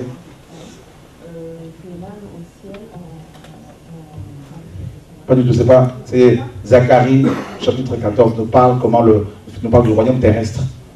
Les nations monteront à Jérusalem pour observer la fête des tabernacles. Pour observer la fête des tabernacles. C'est le royaume. Au ciel, c'est fini, ça. Il n'y a pas un seul verset qui dit qu'au ciel, on va observer, observer le Shabbat. Non, non. Non, non. Voilà. Voilà, il n'y a pas. Oui. Exode. Exode 20, il dit dans verset, attendez, euh, verset 10, euh, non, verset 11, en six jours l'Éternel a fait les cieux, la terre, la mer et tout ce qui y est contenu, et il s'est reposé, s'est reposé le septième jour, c'est pourquoi l'Éternel a béni les jours du repos et l'a sanctifié. Bien sûr, c'est écrit. C'est écrit. Maintenant, ceux qui n'observaient pas ce, ce sabbat, ce Shabbat-là, étaient lapidés. C'est ce qui est écrit dans la loi. Ceux qui ne l'observaient pas, il fallait les lapider. Vous savez ça? Maintenant, ceux qui, si tu ne l'observes pas, est-ce que tu accepterais qu'on te lapide?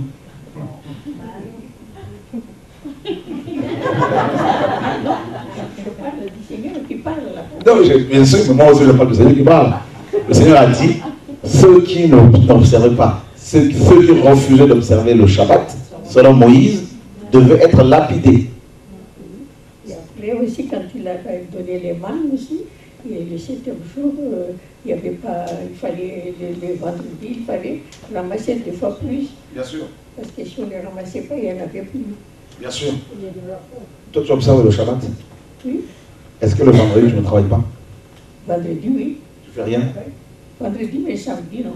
Mais le problème, c'est que le vendredi, par- selon la Bible, commence, le samedi commence vendredi à, 10 à 18h. Le coucher du soleil jusqu'au coucher du soleil le lendemain. Là, tu ne fais rien? Non. Même si tu as mal au ventre, tu ne peux pas aller à l'hôpital, rien. Non, non, je ne parle pas de ça, mais tu travailles. tu travailles. Parce que sous Moïse, il est dit, Ah, mais sauf le, le travail, je vais aller chez mon patron, gagner de l'argent, vendre au marché, c'est pour moi, c'est ça. Ok.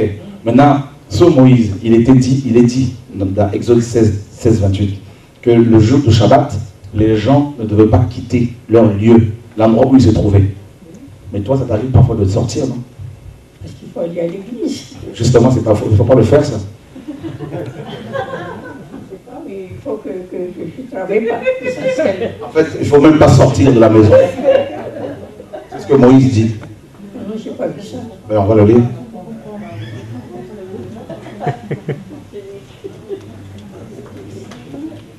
Exode 16, 28.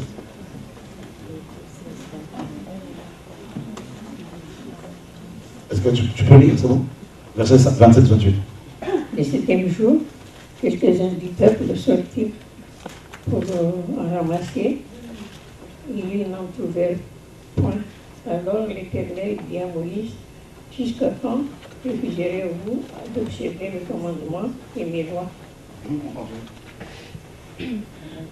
Considérez que l'Éternel vous a donné le sabbat, c'est pourquoi il vous donne au sixième jour de la nourriture pour deux jours, que chacun reste à sa place et que personne ne sort du lieu où il est, où il est au septième jour. Mais pourquoi, pourquoi maintenant toi tu sors? Parce que Dieu a dit qu'il ne faut pas sortir. Parce qu'on n'est plus dans le désert. Mais justement, la loi, cette loi était valable partout. Il ne fallait pas sortir. Non, pour sortir ramasser, pour ça veut dire travailler pour moi. Justement, Dieu. Oui, ok. Mais le Seigneur disait également, en fait, même actuellement, les Juifs qui observent le Shabbat, selon Moïse, ne, font même pas plus de 900 mètres de chez eux. Mais quand toi, tu sors, ou les autres adventistes, pour aller au bâtiment qu'on appelle l'église, vous faites plus, plus de 1000, 1000, 1000, euh, mètres. Oui, mais je ne parle pas de, de sortir, mais de travailler. Non, mais là, là, Dieu dit qu'il ne fallait même pas bouger. C'est ce qui est écrit. Il ne fallait même pas sortir. Le septième jour, il ramassait la nourriture. Dieu a donné les mains. Oui. Il ramasse, il reste mais Mais justement, aujourd'hui, il n'y a plus la manne. Justement, c'est ça le problème. C'est que cette loi avait été donnée pendant une période bien définie, pour une, pour une période définie. Dieu nous permet de travailler pendant six jours, mais on peut, on, on peut ne pas travailler. Pour moi, c'est le travail. Hein. Ce n'est pas le fait de sortir. Parce qu'on ne peut pas rester chez soi. C'est parce que Dieu dit, Dieu a dit que chacun reste le jour, euh, le septième jour, chez lui. Alors, Qu'il ne bouge pas de sa place. Ils sont tous ensemble. Donc, euh, les moines étaient à côté. Ils peuvent rester chez, chez, chez eux parce qu'ils ont ramassé les moines. Il n'y avait pas le travail, il n'y avait pas l'industrie, il n'y avait pas... Est-ce que tu accepterais qu'on lapide quelqu'un qui, qui refuse d'observer le sabbat? C'est-à-dire, euh, peut-être avant parce qu'ils ont désobéi à Dieu. Mais Aujourd'hui, ceux qui désobéissent, alors il faut le lapider aussi. Ah non, mais de laver par la grâce de Dieu parce que Christ est mort pour nous. Justement, et comme il est mort pour nous, eh bien, cette loi n'est plus valable. Et je crois que si de donner une loi, c'est qu'il faut écouter la voix de Dieu.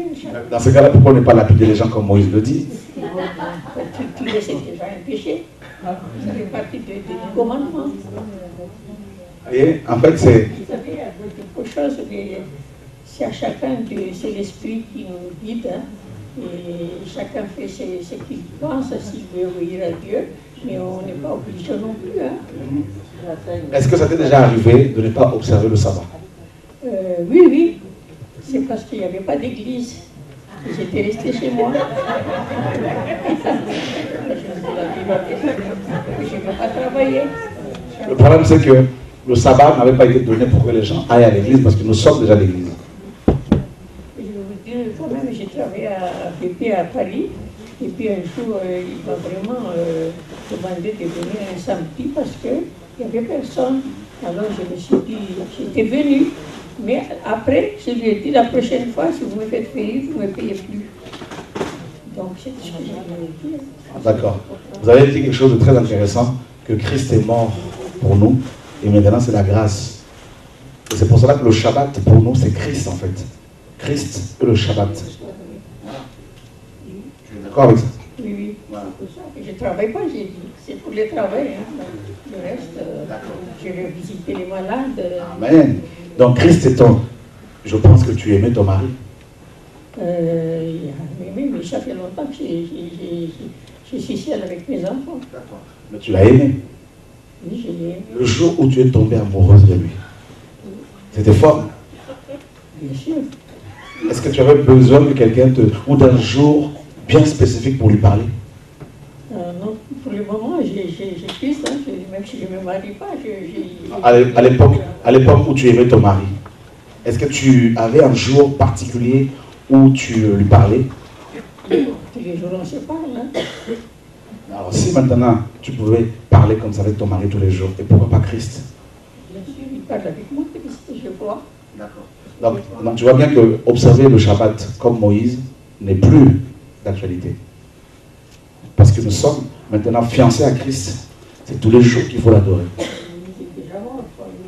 Ah ben alléluia, gloire à Dieu. Donc la loi, Christ l'a accompli, la loi de Moïse. N'est-ce pas? C'est Dieu. Qui donne la loi, mais il a utilisé Moïse. C'était pour les enfants d'Israël, la loi mo- cérémonielle, justement. Est-ce que tu vas encore à Jérusalem pour sacrifier? D'ailleurs, les enfants d'Israël ont et pendant les 40 ans, ils, ont, se sont révoltés dans le désert. hein. Et c'est ce qui nous arrive maintenant, on est dans le désert encore. Il y a des femmes, mais par la grâce de ceux qui croient en Jésus qui seront sauvés. Amen. Voilà, c'est c'est- c'est pour moi, c'est ça. Est-ce que Jésus a créé le mouvement euh, adventiste? Non, non, c'est pas Jésus. C'est qui?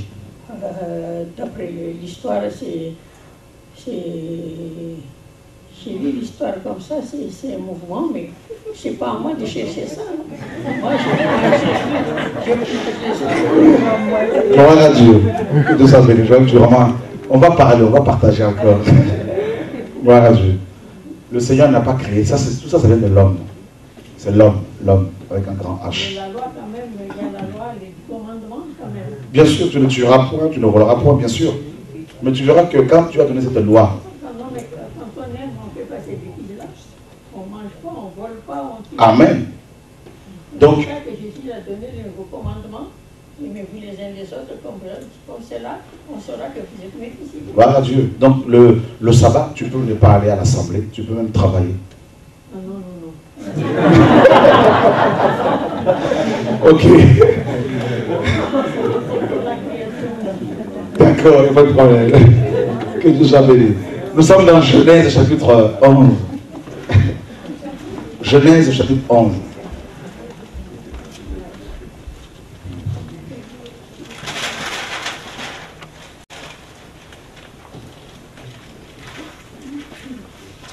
Père, nous te bénissons au nom de Yeshua. Que ton règne demeure parmi nous, Père. Et que ta parole, Seigneur, nous, affranchisse. Au nom de Yeshua. Amen. Genèse 11, mais avant de le lire, on va rapidement lire Genèse 10. À partir du verset 1er, je vais lire. Voici la postérité des fils de Noé. Sem, Cam et Japheth. Il en naquit des fils après le déluge. Les fils de Japheth furent Gomer, Magog, Madai, Javan, Tubal, Meshech et Tiras. Les fils de Gomer, Ashkenaz, Ripha et Togarma. Les fils de Javan, Elisha, Tarsis, Kittim et Dodanim. C'est par, eux qu'ont été- peuplées les îles des nations selon leurs terres, selon la langue de chacun, selon leur famille, selon leur nation. Les fils de Cam furent Cush, Mitzraïm, Put et Canaan. Les fils de Cush, Saba, Avila, Saba, Raïma et Sapteka. Les fils de Raïma, Seba et Dedan. Cush engendra aussi Nemrod, Nimrod, celui qui commença à être puissant sur la terre. Il fut un vaillant chasseur devant l'Éternel. C'est pourquoi l'on dit comme Nemrod, vaillant chasseur devant l'Éternel. Il régna d'abord sur Babel, Erech, Akkad et Calné, au pays de Shinéar. De ce pays-là sortit Assur. Il bâtit Ninive, Rehoboth, Ir, Kalak et entre Ninive et Kalak. C'est la grande ville. Amen. Nemrod. Voilà, je vous ai dit qu'on allait parler du système euh, babylonien, d'accord, donc du gouvernement mondial, l'antéchrist, d'accord, de l'église apostate, tout ça. On va essayer de développer tout ça en même temps assez court. Et euh, on nous parle d'abord de, Nemrod, dont le nom signifie rebelle. C'était un Éthiopien. Et euh, donc Cush, c'est l'Éthiopie, bien sûr. Et on apprend qu'il régnait sur plusieurs, n'est-ce pas, euh, cités, États. Il y a plusieurs cités à l'époque qui étaient en même temps des, des, euh, des- petits royaumes. Et Nemrod était l'empereur, n'est-ce pas, de tous ces, euh, tous ces royaumes. Et euh, on l'a- on l'appelle, on nous dit qu'il était un grand chasseur devant l'éternel. En fait, selon certaines, personnes, je le crois aussi, c'était un grand sataniste, un grand occultiste. Donc, et, et dans Genèse 11, justement, on nous dit, au verset 1er, toute la terre avait une seule langue et les mêmes mots.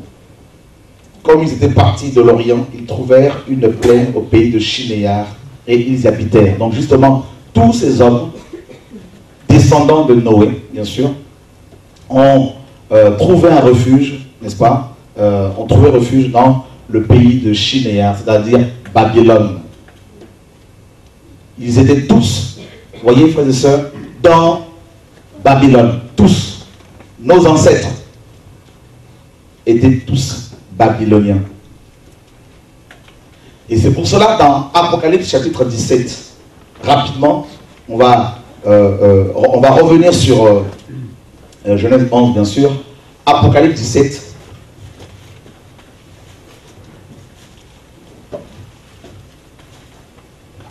Nous lisons du verset 1er jusqu'au verset 6.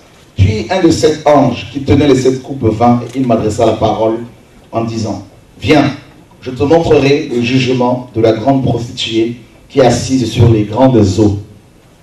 C'est avec elle que, les rois de la terre se sont livrés à la débauche, et c'est du vent de sa débauche que les habitants de la terre se sont enivrés.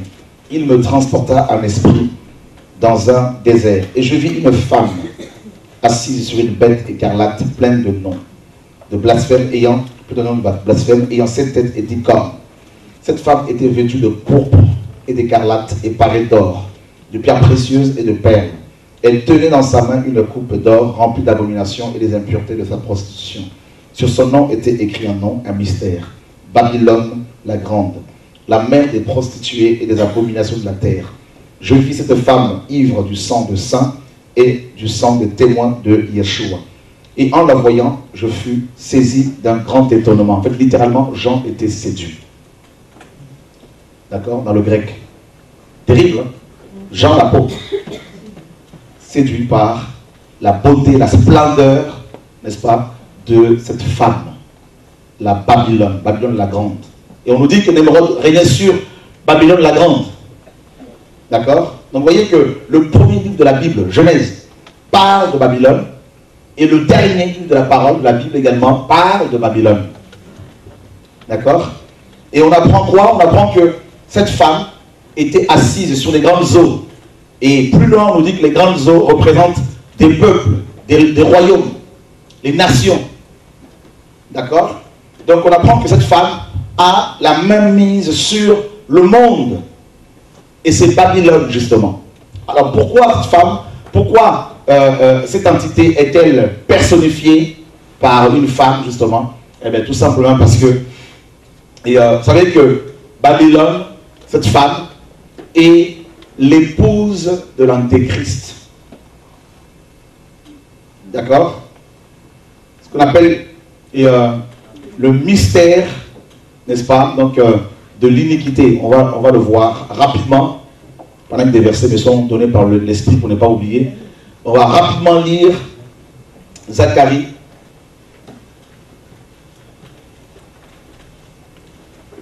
Zacharie chapitre 5.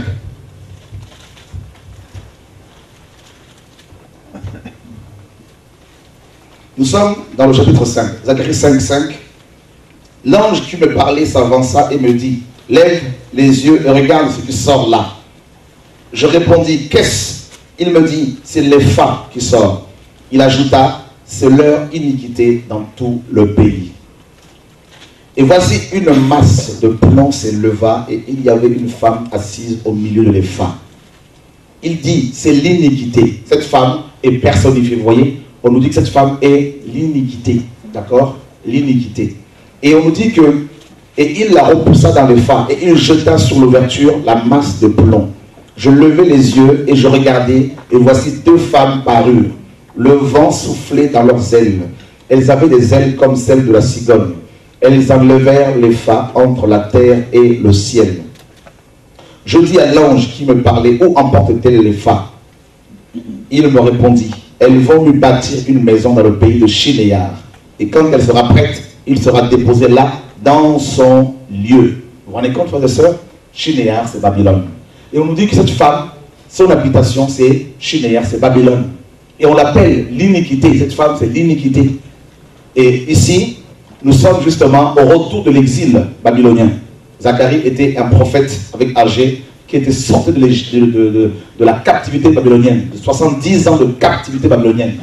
Et à cette époque, nous sommes en l'an 586 euh, avant Jésus-Christ. Babylone va assiéger Jérusalem, d'accord? Et va détruire, Nebuchadnezzar va détruire le temple, va renverser, n'est-ce pas, les murailles de Jérusalem. Donc c'était Babylone qui était à l'apogée. Dans l'histoire biblique, quand euh, Jérusalem était à son apogée, Babylone était, n'est-ce pas, détruite. Et inversement, quand Babylone était à son apogée, Jérusalem était détruite. Il y a deux villes seulement pour Dieu. Pour nous, il y en a plusieurs, mais pour le Seigneur, deux villes Il y a deux villes seulement, Babylone et Jérusalem. Il y a deux races, la race élue et la race de vipères. D'accord? Alors, Babylone, justement, est personnifiée par cette femme appelée dans Zacharie iniquité. Donc, c'est le mystère de l'iniquité. C'est la femme de l'Antéchrist. Satan cherche toujours à singer. Il singe Dieu. Jésus, sa femme, c'est l'Église, son épouse, et l'homme impie, bien sûr, l'homme impie. Sa femme, c'est euh, la Babylone religieuse, c'est-à-dire l'ensemble des églises babylonisées, paganisées, jézabélisées, l'ensemble de la chrétienté babylonisée, avec des Bibles déformées, des versions de la Bible complètement déformées, On pourra en parler si le temps nous le permet. Et euh, donc, vous voyez, frères et sœurs, c'est terrible comment Satan procède. Et on nous dit que cette femme règne. Elle est assise sur une bête écarlate qui a sept têtes et dix cornes. Les têtes sont des rois. D'accord? Les cornes, c'est des royaumes, selon Daniel 20, Daniel 8, 20, 21. C'est des royaumes. Cette bête, c'est l'homme impie, bien sûr, selon la parole, selon Daniel 7, Daniel 8 et euh, Daniel 11, selon Apocalypse 13 également, c'est l'antéchrist. Et on dit que c'est lui, l'antéchrist, qui soutient cette femme. D'accord? Rappelez-vous bien que Némorode est un type, d'accord, d'antéchrist. Et il régnait sur Babel, il régnait à Babylone, et l'antéchrist règne également à Babylone. Babylone, c'est le gouvernement mondial. Babylone, c'est c'est un monde où il n'y a plus de frontières. Babylone, c'est un monde où il n'y a plus, n'est-ce pas, où il y a une monnaie, n'est-ce pas, euh, unique. C'est un monde où il y a une seule armée, bien sûr, une seule, un seul gouvernement, une, un, seul, une seule mentalité. On nous dit dans Genèse 11, ils avaient les mêmes mots. C'est-à-dire la même vision. Aujourd'hui, le, langage que les habitants de la terre ont, c'est le langage monétaire. D'accord? C'est la finance, le monde de la finance. D'accord? Une richesse que Dieu n'a pas créée, une richesse que l'homme a créée. Pour votre information, c'est le langage de l'homme. Il y a plusieurs types de richesses. Richesse spirituelle et euh, euh, naturelle, les terres, les, animaux, voyez ce que Adam possédait, ce que euh, euh, Abraham possédait. Et Satan a créé, au travers de ses serviteurs ses servantes, une autre richesse, c'est-à-dire l'argent-monnaie. D'accord? Et c'est le langage que les hommes ont actuellement. C'est Babylone, justement. C'est pour cela que vous verrez que les multinationales fusionnent de plus en plus, les pays fusionnent, les frontières sont de plus en plus enlevées, donc euh, de, plus en plus les gens ben, deviennent euh, un seul peuple, une nation, un seul langage, notamment avec l'ONU euh, et, ses agences. Par exemple, le FMI, le Fonds monétaire international. Vous voyez C'est quoi? Ça, c'est pour gérer les banques. Vous voyez Pour gérer les banques. Et les banquiers sont, sont les maîtres. Vous voyez Et c'est comme ça que notre monde est organisé maintenant. Et c'est terrible. Nous sommes dans un monde globalisé. Et on nous habitue à des termes, à des mots comme mondialisation, globalisation, tout ça.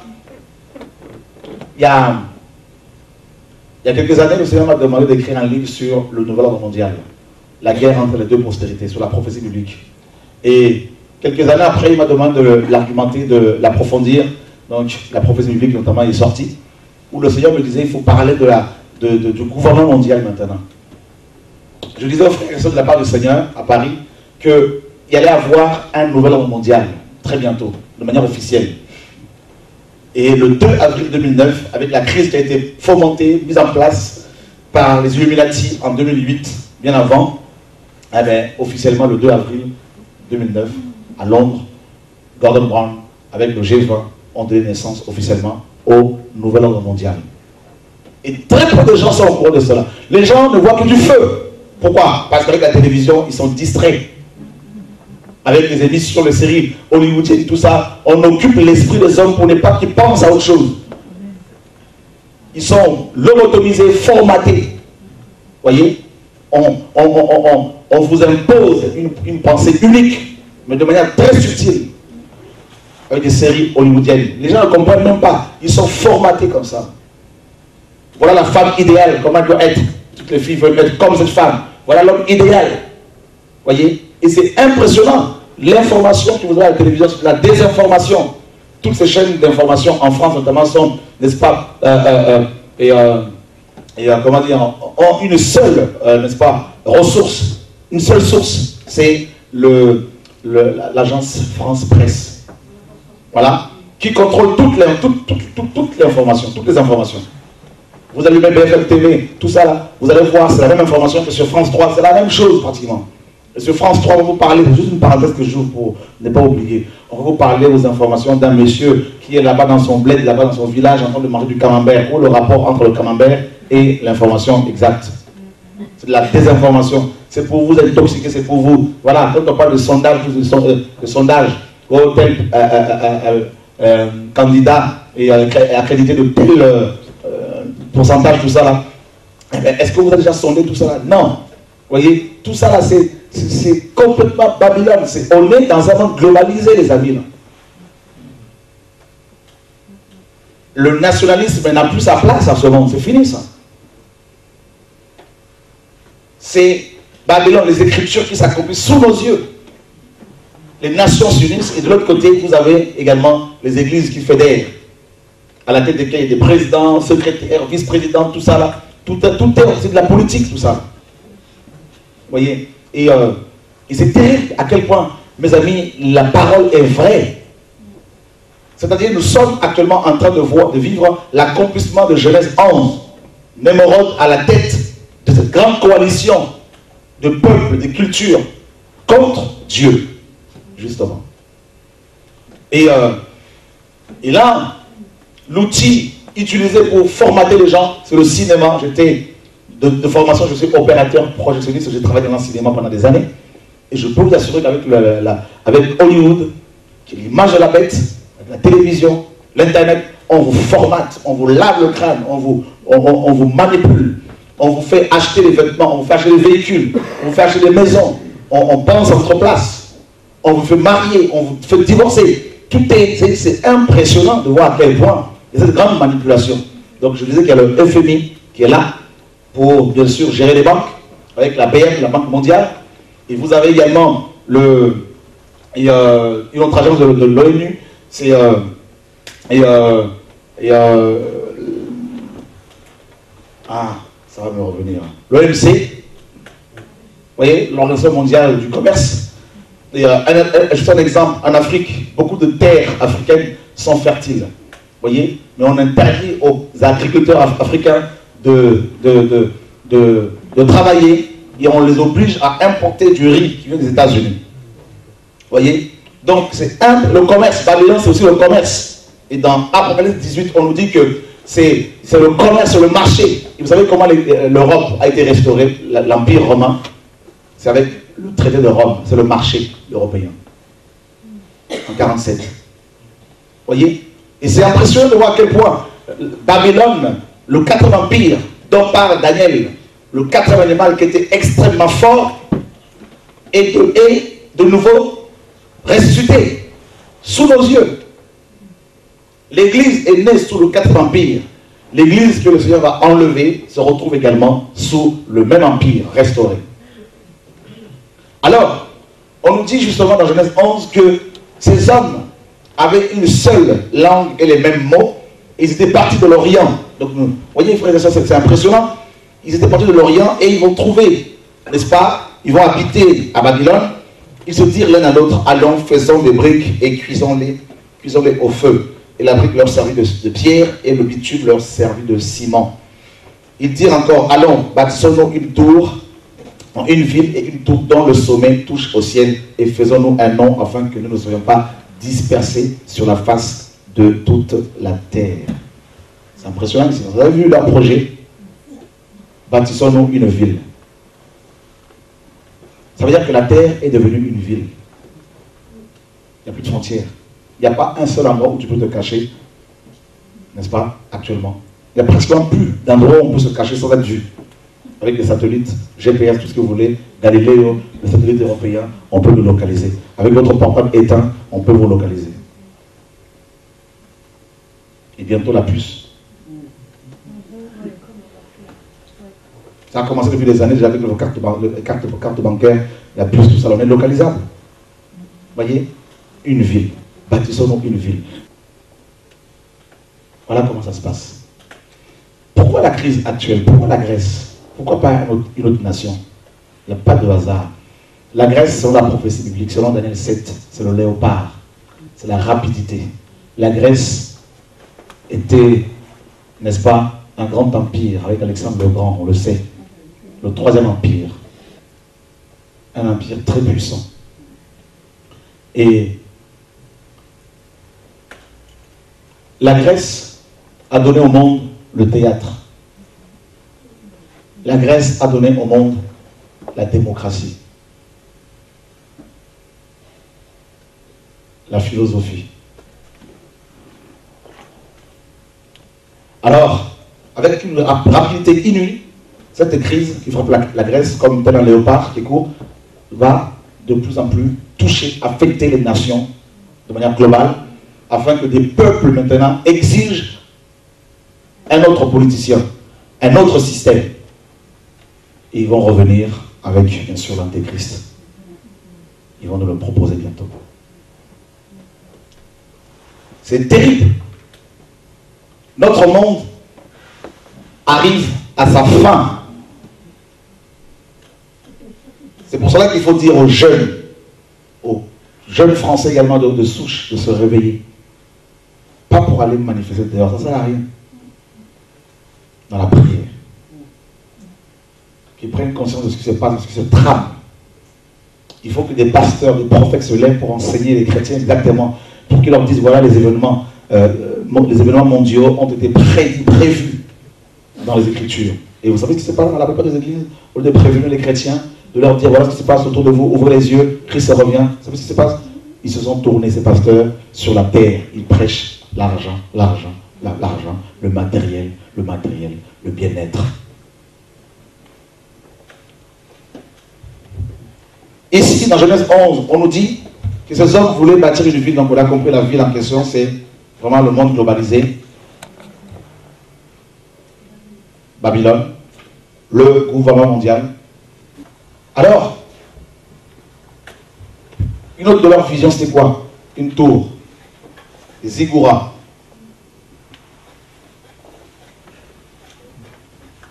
C'était des édifices religieux. Vous avez vu? Ils ont dit que le sommet de la tour devait atteindre le ciel. Là, c'est le ciel. Là, c'est le sommet. Pas l'édifice dans son entièreté que le sommet. Et vous avez ça sur le billet de 1 de, dollar, avec un œil au milieu. D'accord? Le sommet, ce sont les sommités. La franc-maçonnerie, c'est des, des sectes ou des religions à mystère, avec des degrés, pour atteindre l'illumination finale. Vous avez des degrés. Il y en a 33. Pourquoi 33 Si vous additionnez, enfin, en fait, parce que ça donne 6. Pourquoi 33 Parce qu'ils disent que Christ est mort à l'âge de 33 ans. C'est l'âge de l'illumination. Et vous avez trois, les trois premiers degrés de la maçonnerie, c'est compagnon maçon, euh, euh, apprenti maçon, pardon, compagnon maçon et maître maçon. Et ensuite, quand on commence à monter, là, Arrivé à un moment donné, on vous dit, voilà, ça c'est le Baphomet, notre maître. Et vous ne pouvez plus faire marche arrière parce que vous avez tellement, vous êtes tellement engagé, vous avez tellement goûté, vous êtes tellement endetté. Le Baphomet. Donc le sommet ici, c'est le sommet représente, à l'époque, le sommet représentait Nemorod, bien sûr, Antéchrist, la tête. D'accord? Et en même temps le sommet, bien sûr, représente toutes les, toutes les, tous les dirigeants. Alors remarquez bien, dans la chrétienté actuelle, complètement paganisée, il y a des termes qu'on emploie, tels que cléricalisme,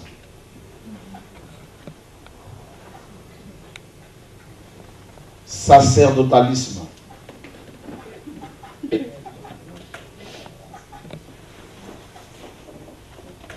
alors le sacerdotalisme, c'est quoi? C'est la médiation humaine. Quand vos pasteurs vous disent qu'ils sont, n'est-ce pas, les têtes des églises locales, c'est du sacerdotalisme. C'est de la, c'est Babylone, la sorcellerie. Car l'apôtre Paul nous dit que dans l'église locale, il y a la, communion fraternelle. Nous avons une relation euh, verticale, horizontale. D'accord, la seule relation horizontale qui doit exister entre vous et nous, entre, entre, entre nous, en fait, c'est entre nous et Dieu. Dieu, Christ est le, la tête du corps de l'Église. Donc le pape est venu et il s'est auto-proclamé, il s'est auto-proclamé, n'est-ce pas, le chef de l'Église, c'est-à-dire l'antéchrist.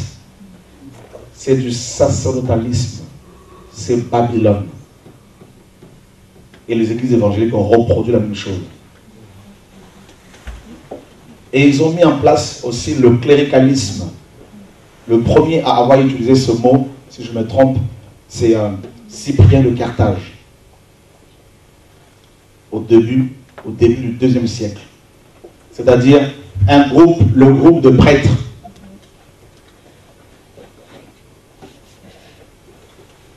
Le clergé. Et on, a, on parle de laïc, clergé, laïc. Laïc, laos, le peuple. Alors que dans les églises bibliques, on ne voit pas cela. Et on a commencé à parler du corps pastoral. Alors que Paul nous dit dans Ephésiens 4, il y a un seul corps. Vous vous rendez compte que nos, églises sont tellement paganisées, tellement babylonisées, que beaucoup se disent, mais ça a commencé quand? En fait, je, me posais la même question, jusqu'à ce que l'Esprit me dise, c'est depuis Genèse 11. C'est-à-dire Satan, bien sûr, dans l'histoire de l'Église, c'est depuis euh, le premier siècle. Donc depuis euh, le premier siècle déjà avec les écrits de, Inès d'Antioche qui avait vécu entre 35 et 107 après Jésus-Christ. Inès d'Antioche disait que l'évêque tient la place de Dieu sur terre.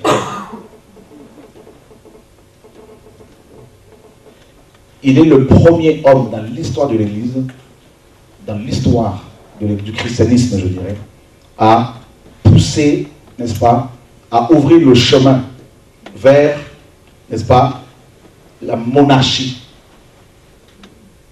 le chemin de l'église monarchique. C'est le pasteur qui devient le, n'est-ce pas, le président, le MC, le président, le directeur général de l'église locale. Il disait que tout le monde devait suivre l'évêque comme s'il suivait Jésus-Christ lui-même. Que là où, là où est l'évêque, c'est là où est l'église. Alors que Christ a dit là où deux ou trois s'ensemble en mon nom, je suis là. Cyprien de Carthage, qui a, qui a vécu entre 200 et 250 après Jésus-Christ, il a dit que chaque église locale doit avoir à sa tête un seul berger. Alors que les premiers euh, chrétiens travaillaient avec une équipe, un collège d'anciens, qui ne, travaillaient pas comme une, une oligarchie, mais qui travaillaient en accord avec les frères et sœurs qui étaient au milieu du peuple. Et ce n'était pas eux qui avaient le dernier mot. C'est le Saint-Esprit qui a toujours eu le dernier mot. Vous voyez? Donc avec nos églises, mes amis, là, on retrouve avec Babylone ce système pyramidal. Donc ça, je parle, je parle d'abord de l'église locale, ou les églises locales. Le pasteur, c'est lui qui a le dernier mot. Le pasteur, c'est lui qui est payé. Le pasteur est payé pour méditer la Bible à notre place, pour avoir plus de connaissances que nous, comme les prêtres catholiques. D'accord? Le pasteur, euh, le padre, le padre, tout ça. Donc, vous voyez, c'est impressionnant de voir à quel point, frères et sœurs, quand on examine les Écritures, quand on fait une étude comparative, n'est-ce pas? Et euh, quand si on prend la parole, on commence à examiner euh, les Écritures et qu'on compare nos églises à la parole, on se rend compte qu'en fait, elles sont complètement pyramidales, complètement babylonisées, complètement paganisées. Donc du coup, pour être baptisé, il faut absolument le pasteur ou un ancien. Vision pyramidale. Le sommet seulement qui doit toucher le ciel. Le pasteur seulement qui a la connaissance, qui connaît plus Dieu que les chrétiens. C'est pour cela qu'on le paye. C'est pour cela qu'il a un salaire.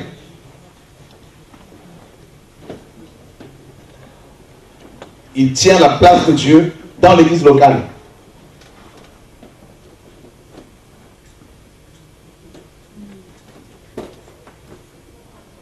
Alors que dans les Écritures, on voit plein d'églises locales qui n'avaient même pas un dirigeant officiel. Les frères et sœurs se retrouvaient entre eux pour partager la parole. Et c'est eux qui, n'est-ce pas, euh, mettaient en place les dirigeants en fonction de leurs fruits. Il y avait une élection à chaque fois, des élections. Il n'y avait pas l'ordination, comme c'est le cas actuel. Donc aujourd'hui, maintenant, pour le baptême, il faut se référer au pasteur. Pour le mariage, il faut se référer au pasteur. Pour être enseigné, il faut se référer au pasteur. Pour la prière, il faut se référer toujours au pasteur. Et si un simple frère demande à prier pour un frère euh, euh, ou une soeur malade, on, dira non, non, non, tu n'es pas pasteur. Tellement que nous sommes formatés, nous sommes complètement, n'est-ce pas, nous sommes plus, nous sommes, nous sommes pires que les catholiques même. Nous, les soi-disant évangéliques. Enfin, les évangéliques. Amen. Vous êtes choisi Est-ce que ça vous intéresse ce qui est partagé? Oui. On en fait quoi? De cet enseignement? Voilà. Donc justement, je finis rapidement. Après, on, laissera le temps pour vraiment poser des questions. Et euh, donc il faut d'abord nous montrer, la connaissance nous éclaire, l'évangile nous éclaire, la lumière. Et ensuite, on prend les décisions. Il y a des séparations qui vont être procédées, on va procéder à des séparations. Voilà, donc on en parlera. Mais quand le Seigneur a commencé à m'enseigner ces choses, je dis bien, on n'est pas le seul. Il y en a pas mal, de, pas mal de personnes à qui le Seigneur a ouvert les yeux. Et c'est choquant. On se dit, Seigneur, mais c'est grave. L'apôtre Paul dit dans Ephésiens 5, 21, soumettez-vous les uns aux autres. Vous voyez? C'est ça le principe de la communion fraternelle. Nous sommes des frères, nous, les prédicateurs avant tout. Vous voyez donc, on est frères. Euh, il n'y en a pas un qui soit au-dessus des autres. Et vous allez entendre également parler de la couverture pastorale, la couverture spirituelle. C'est un esprit de contrôle. Ça, c'est toujours Babylone. Vous voyez, c'est le même principe. Vous voyez Il est dit dans les Écritures, dans Romains, dans 1 euh, Corinthiens 11, dans Ephésiens également 1, que Christ est la tête de l'Église. Tête, c'est képhale en, grec, qui donne en français tête ou encore chef. Chef, c'est képhale. Donc le a été traduit par tête ou encore chef. Donc Christ est le chef, la tête, la couverture de l'Église.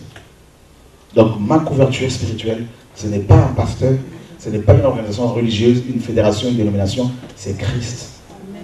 La tienne doit l'être également. Alléluia. Gloire à Dieu. Donc, un homme qui se présente, si un homme se présente à vous, à toi, pour te dire qu'il veut être, il est, ou il veut, Dieu lui a dit qu'il va être ta couverture, c'est tout simplement Babylone. C'est un esprit de contrôle. C'est un joug. D'accord? Donc, euh, et beaucoup des pasteurs, vous allez, vous entendre dire euh, oui, mais ce prédicateur, mais qui l'a mandaté Qui est son père spirituel Qui l'a formé Ils sont de quelle école Vous savez, beaucoup sont sincères à parler ainsi, mais ils sont formatés, ils sont, c'est Babylone, tout ça. C'est une pollution. Ils ont été pollués, corrompus. Et euh, maintenant, il y a également cet enseignement qui met l'accent sur les pères spirituels, les fils hein, père, mère spirituelle, tout ça là. Oui, il y a des. Paul reconnaît qu'il y a des pères à la foi, mais ils ne sont pas au-dessus des chrétiens. D'accord? Il y a toujours la notion de la communion fraternelle, une relation horizontale. Et la seule relation verticale que nous avons, c'est avec Dieu, qui est au-dessus de toutes choses, qui nous protège, qui nous couvre. Si une personne se met entre toi et Dieu, quelle que soit sa fonction, cette personne devient antéchrist.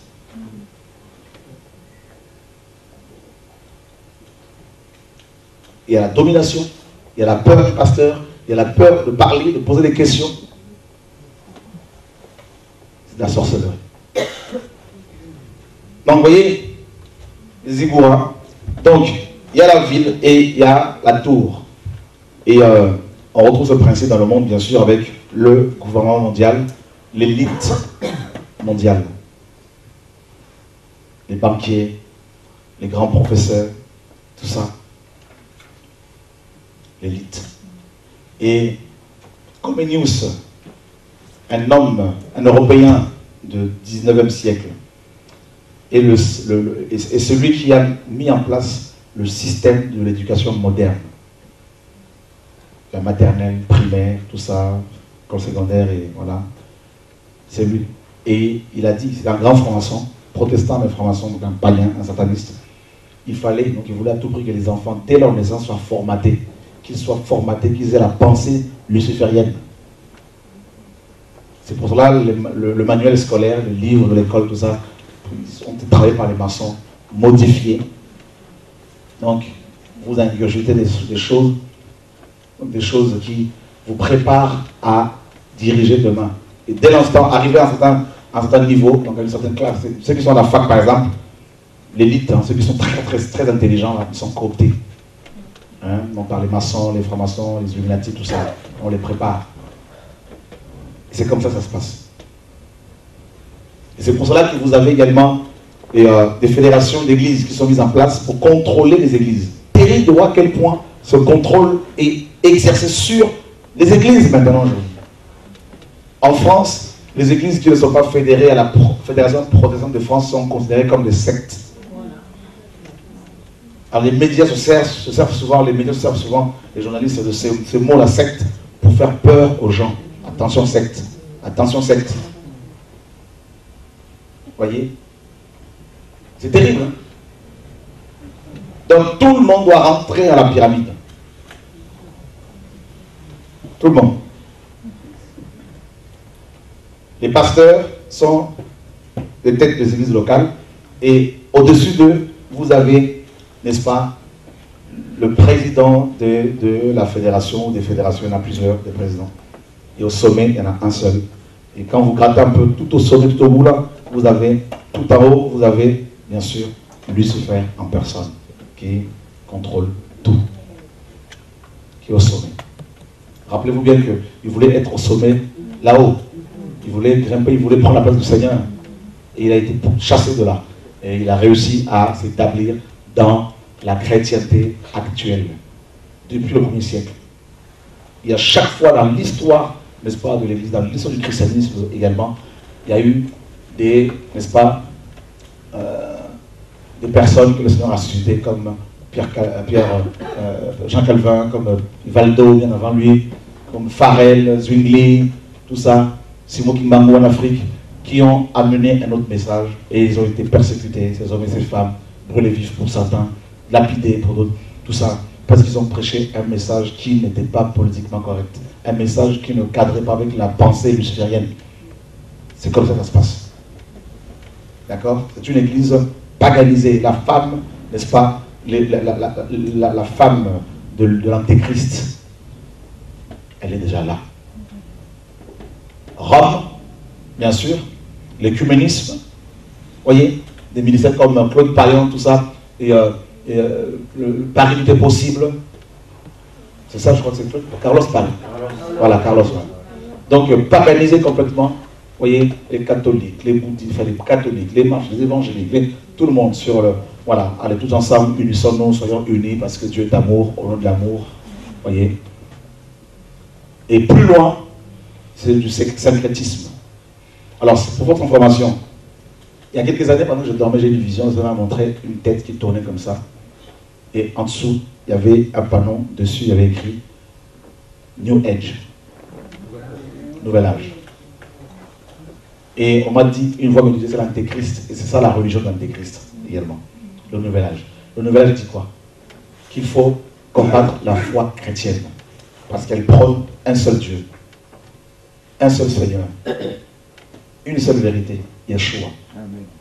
Le New, Age met l'accent sur la musique, une musique transcendantale, une musique qui t'apaise, avec des notes. Certaines notes, on peut, n'est-ce pas, provoquer une forme d'onction. C'est pour cela que la musique de Michael Jackson faisait tomber les gens, faisait délirer les gens. Ou comme certains, comme le rock. Voyez? Donc, la musique est utilisée énormément dans le New Age. Voilà pourquoi le gospel, la musique gospel a été introduite dans la plupart des églises pour justement amener la, paganisation des cœurs. C'est le rock, le rap également qui rentre dans beaucoup d'églises, tout ça. Vous voyez, c'est le New Age. Donc, et euh, le New Age prône, nous parle du maitreya, d'accord, le maitreya qu'ils ont identifié. Donc, euh, en fait, ils disent que Bouddha, les bouddhistes attendent le cinquième Bouddha, l'islam, les musulmans, l'imam Mahdi, les chrétiens, Yeshua, les juifs, le Messie, le même, personnage. Les, hindous, Krishna, alors ils disent que ce, ne sont que des synonymes, donc euh, euh, c'est le même personnage, c'est le Maitreya. Donc ils sont en train de fédérer, de s'introduire subtilement depuis des années dans les églises, avec des messages complètement paganisés, des doctrines des démons telles que la visualisation, la pensée positive, la doctrine de la prospérité, d'accord?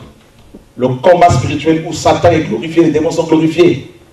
L'utilisation de la Sainte Seine, du vin de la Sainte Seine pour, n'est-ce pas, amener le réveil, soi-disant.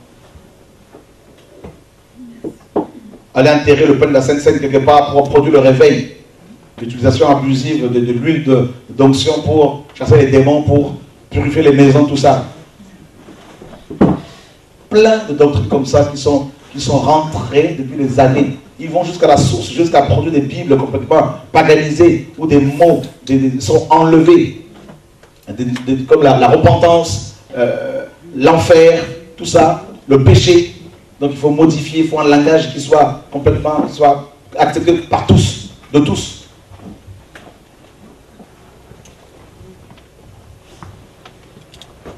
Bible Semeur, par exemple. Second 21 qui vient de sortir il y a quelques années, là. Tout ça.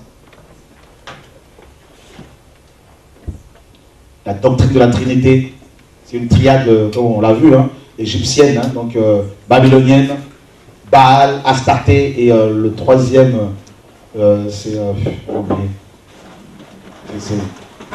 c'est impressionnant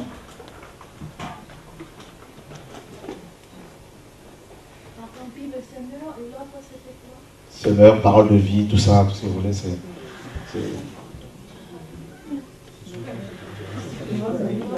Tob, Jérusalem, bien sûr. Osterwald et Martin, ça va Vous pouvez recommander ces livres-là pour les garder. Martin et Osterwald. Ça va disparaître.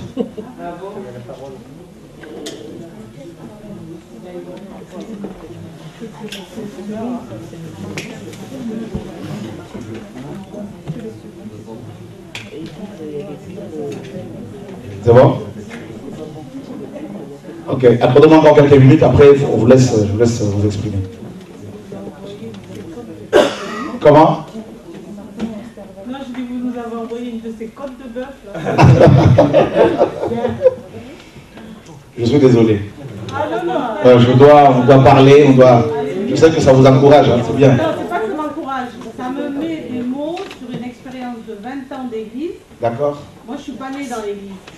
Mais vous mettez des mots dans des combats, dans des choses euh, que le Seigneur m'a expliqué que je ne comprenais pas parce que je me heurtais au fonctionnement de l'Église. D'accord. Amen. Euh, Donc c'est pour t'encourager à persévérer dans cette voie. Ben, sorcellerie, sorcellerie noire, sorcellerie blanche. Voilà, c'est ça. C'est ça. Donc voilà. Mais quand on n'est pas enfant de, du christianisme ou enfant de la Bible, quand on rentre, quand on est converti, on est choqué par certaines pratiques. Effectivement. Donc voilà, comment euh, Babylone a, Satan, au travers de Babylone, a engendré le christianisme tel qu'on le connaît, parce que comme je vous le disais, Jésus-Christ n'a pas parlé du christianisme, il n'a pas bâti le christianisme, il a bâti une nation, il a bâti son ecclésia. D'accord? Donc le christianisme, c'est un ensemble de dogmes, de traditions d'hommes euh, qui ont remplacé la parole de Dieu. On est attaché à ces traditions plus qu'à la parole du Seigneur. Et, euh, et c'est terrible parce que je refuse personnellement d'être la couverture des gens, je suis combattu. Parce que je refuse justement de faire partie de cette fédération protestante de France. Vous savez, en, France, par exemple, les pasteurs d'origine africaine, et euh, même s'ils sont français, je veux dire, s'ils sont d'origine africaine, s'ils sont noirs, s'ils désirent euh, faire partie de la fédération protestante de France, on les oblige, hein, c'est de la ghettoisation, on les oblige à adhérer d'abord à la CEAF, la communauté des églises d'expression africaine. Être directement membre de la Fédération protestante de France. Donc, tous les Noirs, ils sont ghettoisés, casés dans, un, dans une fédération de Noirs. Les Maghrébins, c'est pareil. Les Antillais, donc euh, pareil. Voilà comment ça se passe. Et c'est ça notre christianisme actuel. Et euh, maintenant, troisièmement, ils ont dit faisons-nous un nom. Vous vous souvenez hein? Faisons-nous un nom. Voilà l'origine des dénominations. Un seul nom nous est donné. Là où deux ou trois s'assemblent en mon nom, je suis là, le Seigneur disait. Dans Babylone, ce n'est pas comme ça. Dans la chrétienté actuelle, ce n'est pas comme ça. Là où deux ou trois se rassemblent au nom de l'église euh, protestante, les protestants sont là. Là où deux ou trois s'assemblent au nom des églises, évangéliques, les évangéliques sont là. Là où deux ou trois s'assemblent au nom de la dénomination de ton pasteur, eh bien, le Seigneur est là, selon eux. C'est pour cela qu'on s'identifie non en fonction du nom, non par rapport au nom de Yeshua que nous portons, mais en fonction de nos dénominations. Tu es baptiste? Oui, donc on est ensemble. Tu es pentecôtiste? Oui, on est ensemble. Voilà comment ça se passe. Le pasteur pentecôtiste, n'est pas forcément reconnu par les baptistes. Ceux de l'Assemblée de Dieu ne sont pas reconnus par les Et vous allez voir que dans, euh, les églises, dans les assemblées de Dieu, par exemple en France, c'est très sectaire. C'est-à-dire, si vous quittez de là, c'est comme si vous perdez votre salut. Voilà. C'est comme si les autres églises ne sont pas bonnes. Les autres chrétiens sont des, des parias, il ne faut pas les fréquenter. Il faut... Voilà, c'est terrible. C'est là, c'est sous vos yeux, vous connaissez ces choses. Donc Dieu n'est pas dans tout ça. Non, je ne parle pas de l'œcuménisme. Je parle de chrétiens que Dieu seul connaît, qui sont dépendants de lui, qui sont dirigés par son Saint-Esprit, conduits par le Saint-Esprit, et qui portent le nom de Yeshua, qui est la parole de Dieu. Donc, Maintenant, ils ont mis en place ce qu'on appelle la synagogue de Satan. Voilà la Babylone religieuse. C'est la synagogue de Satan. Et vous avez, vu sur les sept églises d'Apocalypse, deux seulement sont potables. Et les deux églises potables, Philadelphie et Smyrne, sont combattues par quoi? Par la synagogue de Satan. C'est dit, hein? Voilà. Les chefs juifs, dans Jean 12, avaient reconnu que Jésus-Christ prêchait la vérité, mais ils n'osaient pas le déclarer publiquement parce qu'ils avaient peur d'être exclus de leur synagogue. Parce qu'ils aimaient plus la gloire des hommes que celle du Seigneur. Parce que la gloire de Dieu a un prix. Ça peut te coûter, même ta vie. La croix. Vous voyez comment ça se passe? Donc, dans ces dénominations, dans ces fédérations pastorales, il y a une gloire qui est là. Ils se congratulent, se glorifient. Quand un ministère vient annoncer l'évangile dans une région, comme c'est le cas pour, moi depuis hier, pour nous, ils vont se renseigner, mais il vient d'où Mais qui l'a mandaté? Ici, c'est notre euh, euh, coin, c'est notre région, c'est notre. Il ne faut pas qu'ils viennent ici. On l'a jamais vu. On l'a jamais vu. On l'a dit. Voilà comment ça se passe.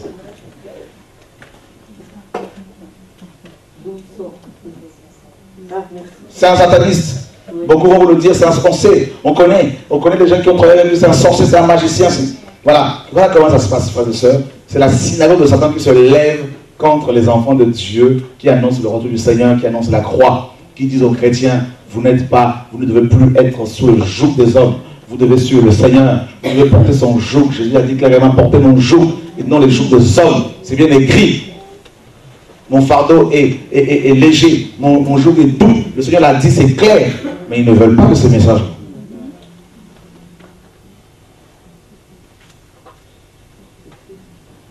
Voyez? Faisons-nous un nom.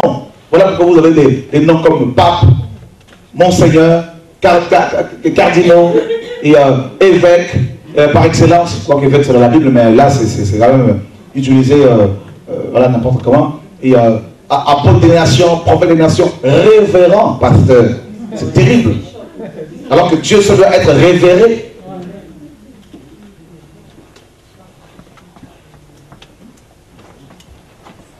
Faisons-nous un nom.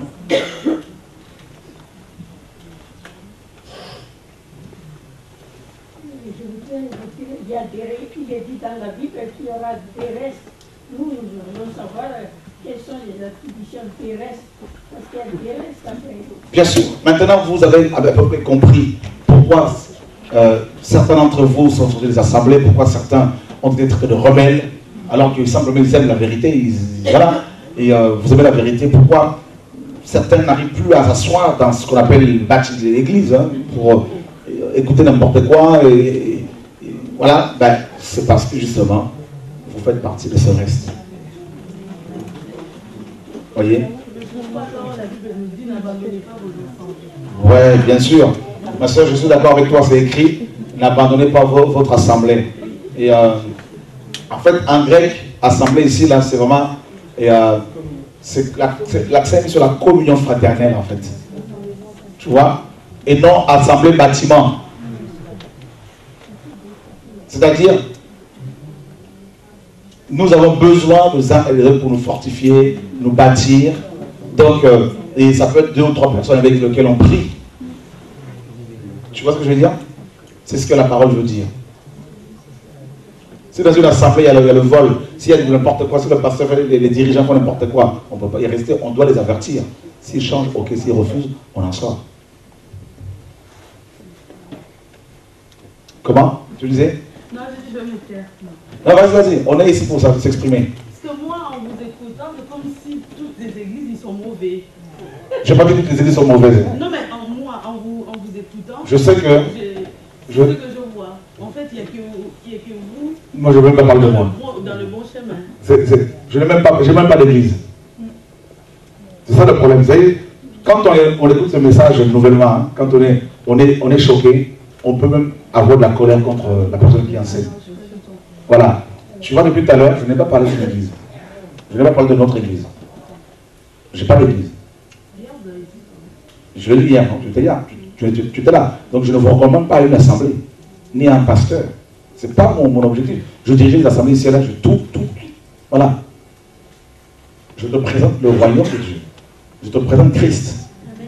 Maintenant, ce que je partage ici, est-ce que ces, ces choses-là, tu les trouves dans les assemblées actuelles ou pas? Non. Non. Vous ne suivez pas toutes les assemblées. Dieu seul sait. Non. moi, je ne peux pas dire oui. Non, ou il y, a- des assemblées où, où Dieu est glorifié, attention. Oui, ben oui. Mais il y en a très peu. Elles sont cachées, ces assemblées-là. on retrouve, par exemple, on retrouve, moi par exemple, si je, si, comme je la connais, c'est-à-dire on est frères en Christ, elle prie dans une assemblée, et ben, du fait qu'elle va prier dans cette assemblée-là et moi un autre, et ben, on prie pas ensemble, on prie Mhm. pas ensemble. Et c'est ça le problème en fait, c'est ça le gros problème, c'est que on se donne un nom, c'est-à-dire que oui, moi je suis chez tel, toi, je- toi tu es chez tel, donc on- même si on était avant sans être chez tel ou chez tel, on prie ensemble, mais du fait qu'on est devenu moi chez tel et l'autre chez tel, ben, on prie plus ensemble. Ça c'est pas normal. Hein. C'est- C'est-à-dire que on peut marcher ensemble, c'est-à-dire on est frères et sœurs. Moi, je vais chez tel dans une assemblée telle, toi tu vas dans une assemblée telle, et du fait qu'on on est séparés, on prie plus ensemble parce que toi tu vas dans cette assemblée-là, pourtant on est frères. Non, mais c'est pas ça ça arrive ça. qu'on ne se voit pas souvent. C'est pas le problème de, de l'ensemble. Tu sais pourquoi, ma soeur, tu sais pourquoi beaucoup de chrétiens ne se voient pas? C'est parce que beaucoup d'assemblées, en fait, la communion fraternelle a, ra- a- a remplacé la communion euh, personnelle que les chrétiens doivent avoir avec le Seigneur. Je m'explique. Lundi, programme à l'assemblée. Mardi, programme. Mercredi, programme.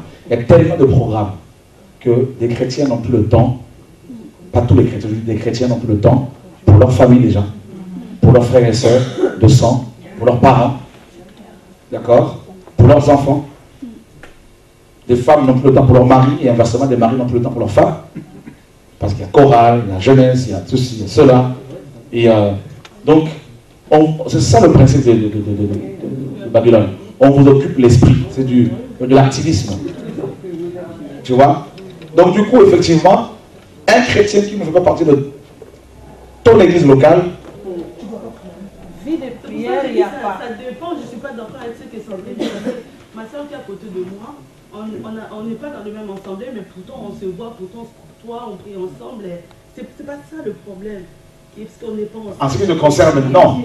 En ce qui te concerne, donc il ne faut pas généraliser non plus. Oui, ben oui. En ce qui te concerne, ce n'est pas le, le- le problème, mais le- je te dis qu'il y a beaucoup de pasteurs y a qui sont. Moi, je fais des séminaires de tel séminaire, je de tel séminaire ici et là. Beaucoup de chrétiens n'osent pas venir. Pourquoi? Parce que leur pasteur leur disait n'allez pas. Bah oui, C'est l'antéchrist qui vient d'arriver, n'allez pas, parce que c'est le diable, tout ça. C'est l'homme impie, faites attention. Il y a de la peur, le contrôle. Et, et euh, je te pose quelques questions. Dans ton assemblée, est-ce que tu payes la dîme? Est-ce qu'on demande la dîme?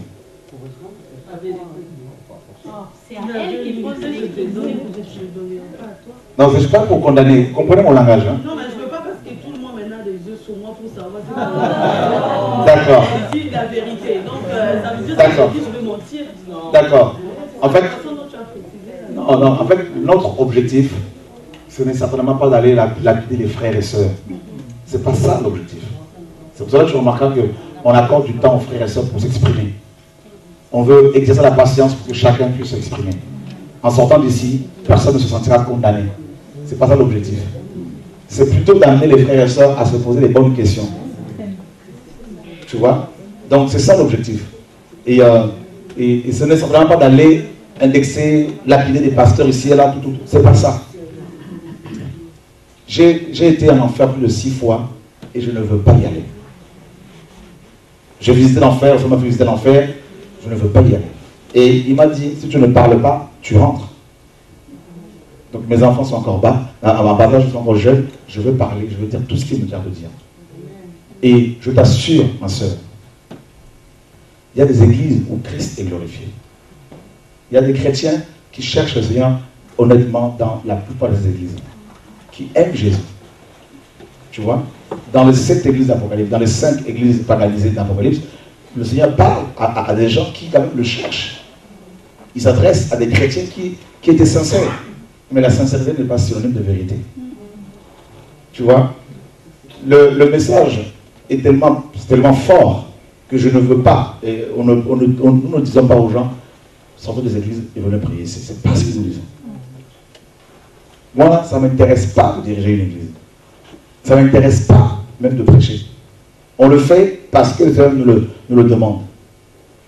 Et, mais quand on enseigne aux chrétiens, si on, si on dit aux chrétiens qu'il faut payer la dîme, si on leur dit qu'il faut construire des bâtiments pour l'église, si on leur dit que le dimanche est le jour du Seigneur, si on leur dit qu'en dehors du pasteur, ils ne peuvent pas véritablement être bénis, qu'ils ne sont pas couverts, si on leur dit qu'il faut qu'ils servent le pasteur comme s'ils servaient le Seigneur, si on leur dit que Moïse a servi, euh, servi par euh, Josué et Élie étaient servis par euh, Élisée, qu'il faut qu'ils servent euh, leur pasteur, beaucoup d'enseignent comme ça, je dis non, non.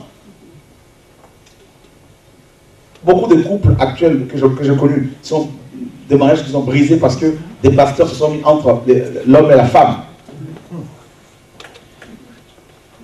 Beaucoup de femmes, j'ai vu beaucoup, beaucoup, beaucoup d'hommes qui n'écoutaient plus leur femme, qui écoutaient plus leur pasteur que leur, leur.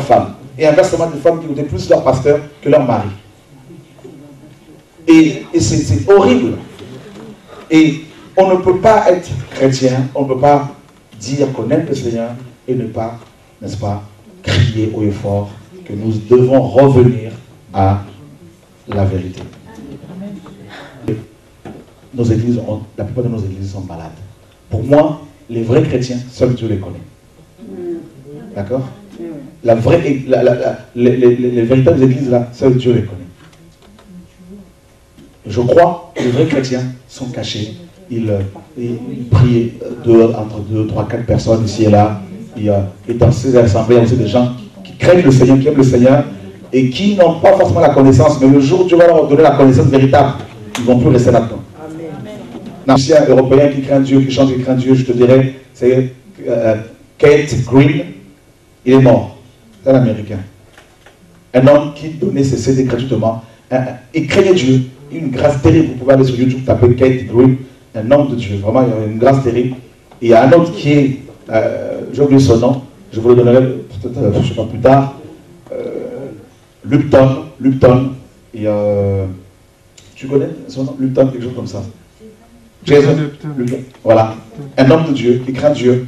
Tu sens qu'il y a vraiment l'esprit de sainteté. D'accord? Je le connais personnellement parce que je, je, peux me recevoir, mais il y en a très peu. Très peu. Le problème, c'est que le Seigneur, quand, quand Jésus, Élie, Élie se croyait le seul. Dieu dit quoi à Élie Je vais réserver 7000 personnes. Et où étaient ces prophètes? Dans des grottes. Cachés.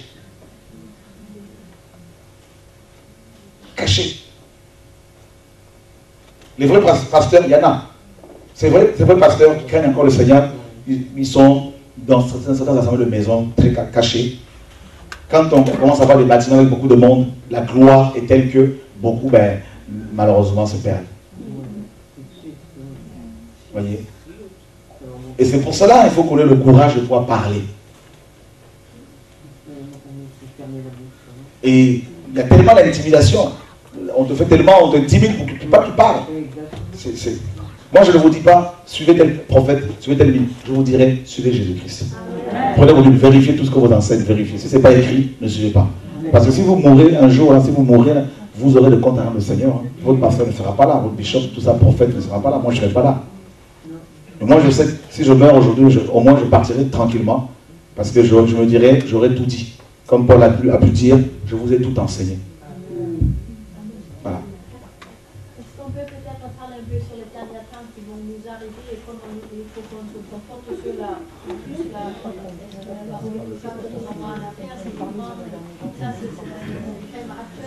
C'est déjà le cas. Le problème, c'est que euh, qu'est-ce qui va nous arriver Selon les Écritures, on a vu Genèse 11, c'est-à-dire la globalisation se met de plus en plus en place. D'accord? Donc, euh, des chrétiens qui vont refuser de fédérer seront persécutés. C'est sûr. J'ai eu un songe il y a quelques années où donc, je voyais des vieilles, vieilles églises représentées par des vieux bâtiments catholiques. Et euh, je ne sais pas ce qui va revenir au pouvoir, je ne sais pas.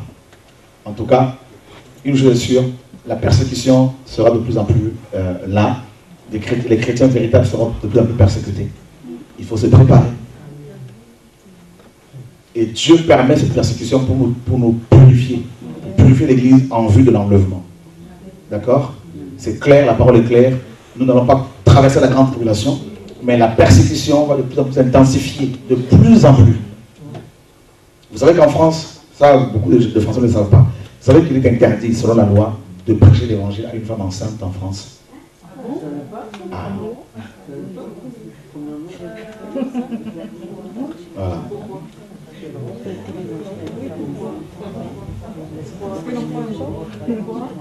Voilà. Voilà. quelle Voilà. La, voilà. Donc vous voyez que il a dénoncé l'homosexualité publiquement, aujourd'hui en France, est un délit qui est passé de 5 ans, je crois, ou 1 an, 5 ans d'emprisonnement et 30 000 euros d'amende. 30 000 euros. Donc la persécution, est là. C'est une persécution sociale, morale. Et on doit se préparer à ces choses-là. Donc ce soir, j'avais plus à cœur de m'arrêter sur tout ce qui, tout ce qui concerne la religion. D'accord? Donc euh, L'antéchrist va, comme on le sait, hein, donc la bête, la 13, va obliger les habitants de la terre à avoir la marque de la bête. D'accord? Il faut la refuser, bien sûr. Amen. Il faut la refuser. Ça a un prix, bien sûr. Amen, effectivement. Ça a un prix. Et justement, la marque de la bête, c'est quoi? On nous dit que la marque de la bête, c'est le nom de la bête. D'accord? On sait que c'est l'antéchrist c'est le nom de la bête. Et, euh, euh, la marque de la bête, c'est aussi le 666. Ça, c'est un moyen pour contrôler. Mais c'est plus que, plus que la puce. Parce que la puce, vous pouvez l'enlever. Mais la marque de la bête, vous, ne pouvez pas l'enlever. Et, ouais.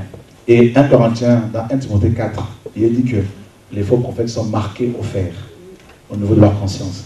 Donc la marque de la bête, c'est là. Vous savez, les Hébreux, dans Deutéronome 6, devaient avoir au front, sur le front, la marque de la parole. Et là. D'accord? À main droite. C'est écrit. également, dans Ézéchiel 9, on nous dit que ceux qui craignaient le Seigneur dans Jérusalem devaient être marqués au front avec la lettre Tav. D'accord? C'est la croix. Donc, pourquoi le front C'est la pensée? Pourquoi la main C'est l'action? Yad, Yod, la main, la force, le pouvoir. Nos actions sont les résultats, les résultats de nos actions, de nos pensées. Nous pensons et nous agissons. Voilà pourquoi, pour bien marquer les gens, il faut, il faut aussi l'image de la bête, donc la télévision. Les images. Nous sommes dans, une époque de l'imagerie. Vous voyez Films hollywoodiens, tout ça, séries hollywoodiennes, tout ça, marquer les gens, préparer les gens. Les gens sont marqués, martelés, martelés, marqués comme ça, au fait, au niveau de leur conscience. Ils sont marqués, ils regardent, ils reçoivent. Vous savez, derrière ces films, tout ça là, il y a des esprits. D'accord? Ils sont marqués.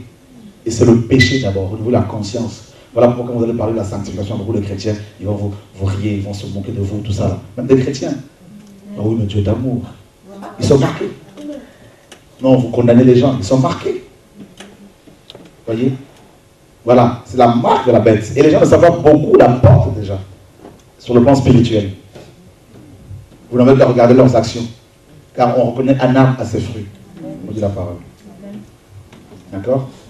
Ensuite, la, marque de la bête, c'est un fonctionnement qu'on nous impose. Un fonctionnement. Et ceux qui ne sont pas dans ce fonctionnement sont persécutés, bien sûr. C'est un mode. De vie. D'accord? Et c'est aussi une marque qu'on utilise pour les transactions financières, tout ça. Donc, parce que ceux qui ne l'ont pas ne pourront pas acheter. Bien sûr, c'est la monnaie, parce que la monnaie, euh, monnaie physique va disparaître. Voilà. Les pièces vont disparaître petit à petit on va, ça, va, ça va être une monnaie électronique. C'est déjà le cas, pratiquement dans, beaucoup de pays. Donc, euh, et c'est ça, en fait, on peut ni acheter ni vendre sans avoir cette marque de la bête. Mais vous savez que la marque de la bête par rapport à l'argent existe depuis des années, on est tous dedans. Hein. Vous savez, quand, dans Matthieu 22, les pharisiens posent la question au Seigneur, à savoir s'il fallait payer l'impôt ou pas, le Seigneur leur a dit quoi? De qui porte-t-elle l'effigie de cette pièce? De César, les inscriptions. Voilà. Donc vous voyez que César, c'est l'image de l'antéchrist. Donc le Seigneur nous apprend que l'argent monnaie appartient à la bête. C'est pour cela qu'aujourd'hui, on ne peut ni acheter ni vendre sans l'argent monnaie. Faites une expérience. Allez voir votre boulanger, votre boucher, et parlez-lui en langue pour commander, pour acheter une baguette. Dites-lui que vous allez en échange lui donner, euh, je ne sais pas si vous vendez des, hein, je sais pas, des pommes, tout ça, monsieur je vous prends une baguette en échange, je vous offre quatre pommes. Le troc, ça ne marche plus, c'est fini ça. Vous voyez que la marque la bête, on est dedans de lui.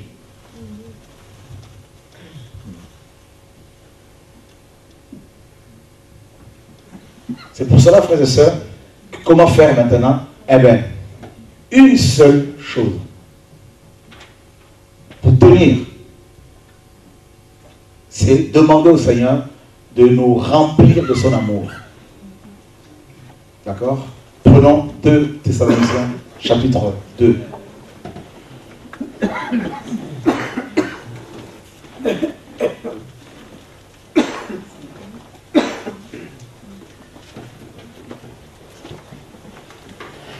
Vous allez bien? Ça va aller, ça va aller ma soeur. Dieu va beaucoup te faire du bien. Dieu va te faire du bien. Alléluia. Nous sommes dans 2 Thessaloniciens chapitre 2. Pour ce qui concerne l'avènement de notre Seigneur Jésus-Christ et notre réunion avec lui, nous vous prions, frères, de ne pas facilement vous laisser ébranler dans votre bon sens et de ne pas vous laisser troubler, soit par quelque inspiration, soit par une parole ou par une lettre qui semblerait venir de nous, comme si le jour du Seigneur était déjà là. Que personne ne vous séduise d'aucune manière. On sait, que notre génération est caractérisée par la séduction. D'accord? Et Paul dit, car il faut que l'apostasie soit arrivée auparavant. Voilà, donc c'est de tout ça que nous parlons, l'apostasie en fait, c'est ça. C'est une obligation. Il faut que l'apostasie soit arrivée auparavant et qu'on ait vu, n'est-ce pas, paraître l'homme impie, le fils de la perdition, l'adversaire qui se lève au-dessus de tout ce qu'on appelle Dieu, ce qu'on adore il va s'asseoir, il va jusqu'à s'asseoir dans le temple de Dieu, se proclamant lui-même Dieu. C'est, en fait, le paroxysme de l'apostasie, c'est la présence de l'impie dans le temple de Dieu. Alors nous savons d'abord que le temple de Dieu sera reconstruit, le temple sera reconstruit Jérusalem. Mais le temple, notre temple de Dieu, c'est nous. Donc vous comprenez que, comme je le disais, la plupart de nos églises, mes amis, sont dirigées par l'esprit de l'Antéchrist, l'esprit de Némorode, qui est là au milieu, la papauté.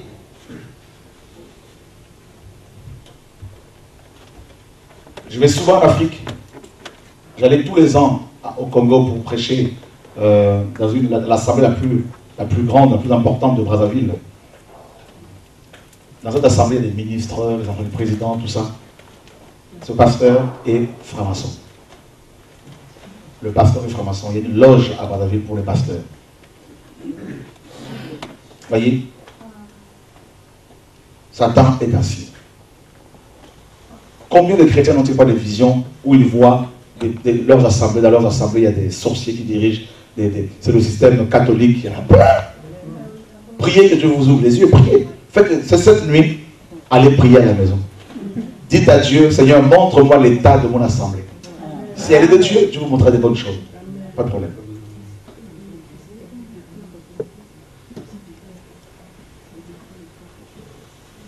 N'allez pas sur Internet. N'allez pas consulter un prophète. Parlez à Dieu chez vous. D'accord? Paul a dit, il va s'asseoir dans le temple de Dieu, se proclamant lui-même Dieu, et des chrétiens vont l'adorer. Croyant adorer Dieu. La plupart des musiciens chrétiens qui chantent là, ils ne prient pas, ils ne méditent pas la parole. Je, dis des choses que je connais, je côtoyer ce monde-là. Je vous dis, quand je finissais le prêcher à Brazzaville, quand j'arrivais là-bas, on m'envoyait un billet Air France. J'arrivais, j'avais un colonel venait me chercher à l'aéroport, j'avais un appartement climatisé, j'avais un 4x4 climatisé, j'avais une femme pour s'occuper de mes vêtements. Voilà comment ça se passe dans le système. J'avais un chauffeur. À midi, j'avais 10 plats différents, préparés par l'ex-femme du président. le soir, 12 plats différents. Une semaine après le programme, j'avais une enveloppe de 7000 euros en liquide.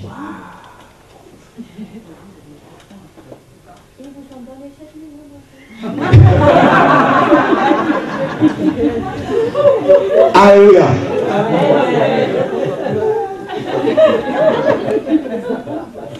Tu vois, non? C'est pour cela que quand Dieu me demande de dénoncer ces choses, mais je sors de là moi-même. Donc je parle de choses que je connais. C'est pour cela que beaucoup parmi eux me disent, non, il ne faut pas trop parler, il faut faire attention, tout, tout, tout, arrête, arrête.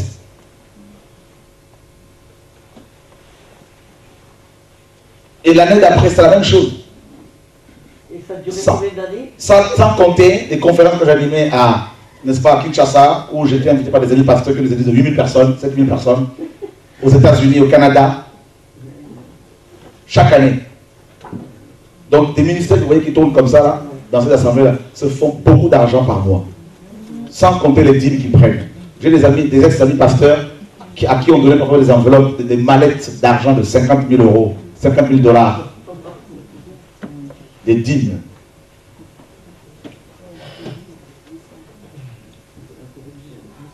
Voilà. C'est Satan. On cherche Satan ici et là. Satan, vous savez où se trouve? Dans la majorité de la, dans la chrétienté actuelle. Voilà. C'est pour cela, sur cette église d'Apocalypse, il y en a seulement deux qui sont potables. Cinq sont pourris. Sur les quatre terrains, il y en a combien qui sont fertiles? Un seul. Dans la parole du semeur. C'est écrit, c'est pas. Vous allez dire, mais ce monsieur exagère, mais frère, je ne fais que dire ce que tu écris. Donc, sur quatre, sur, quatre chrétiens, là, il y en a un seul qui ira au ciel. Vous vous rendez compte? Le reste, un quart seulement. C'est pour cela que Jésus a dit ce qui arriva à l'époque de Lot, à l'époque de Noé et de Lot, arrivera pareillement. Luc 16. Il a dit. Qu'est-ce qui s'est passé à l'époque de Noé? La terre était corrompue. C'est écrit ou pas? Toute la terre. D'accord? Donc Jésus nous, apprend que la terre sera corrompue, l'homme impie sera là. Il a annoncé ça. Et combien de personnes étaient-elles sauvées? Huit. Ah. À l'époque de Lot, comment était Sodome et mort Corrompu. Combien de personnes étaient-elles sauvées? Trois. Ah, un quart de chrétiens.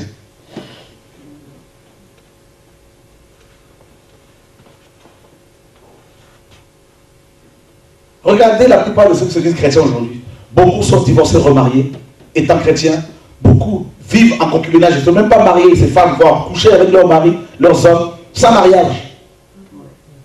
Il y en a qui vont vous dire non, pour les Africains, on a fait seulement la dot. Ils n'ont jamais été à la mairie. Et ça chante dans les chorales. Parce qu'ils soutiennent financièrement l'œuvre, on ne peut pas leur dire la vérité.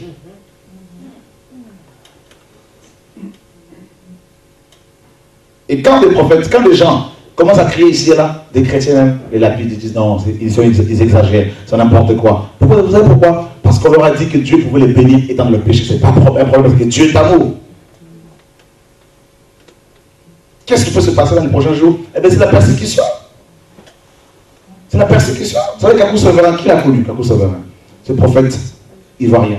Vous savez comment, il, est, décédé? C'est ce qu'on vous a fait croire. Il a fait quand après son accident, il n'était pas, pas, mort.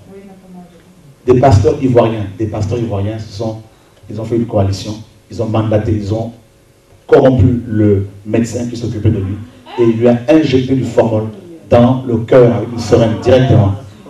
Et ce médecin ne pouvait plus dormir. Il était tourmenté. Il a appelé une femme prophétesse pour avouer ce, péché. Et, et, cette femme qui habite à Londres, une Ivoirienne, m'a appelé pour me raconter comment ça s'est passé. Pourquoi? Parce qu'il dénonçait, parce qu'il l'œuvre, euh, le Satan. Il, rejetait Babylone parce qu'il allait à contre-courant, contre-vent. Il dérangeait. Voilà ce qui va se passer. La persécution de plus en plus. Ce n'est pas nouveau.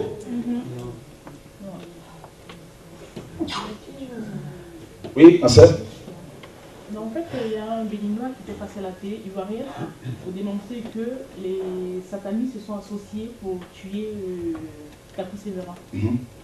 Euh, C'est pour cela que quand tu as un tel ministère, il faut écouter l'esprit. Si le Seigneur dit ne va pas à tel endroit, ne va pas. D'accord qui, qui, veut défendre la Sainte Doctrine Alors, préparez-vous à être rejeté. Cette femme était ivre du sang de saint et du sang de témoin de Jésus-Christ. Vous avez vu Elle n'était pas ivre du sang de religieux, mais de, de ceux qui sont mis à part pour l'œuvre du Seigneur, de ceux qui témoignent de Christ. Dès l'instant où vous acceptez de témoigner, non d'un pasteur, non d'une église, mais de Christ, par votre vie sanctifiée, vous aurez des problèmes. Dès l'instant où vous commencez à parler de Jésus-Christ dans, là où vous travaillez, vous, aurez des problèmes. Donc la persécution, elle est là. Pour les plus libres. Pas son jour de mourir ce jour-là et qu'il a mis du formol, il est quand même mort.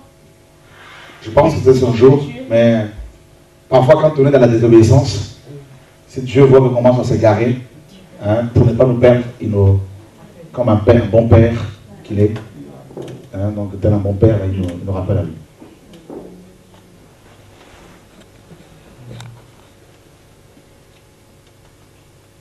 Un pasteur français m'appelle.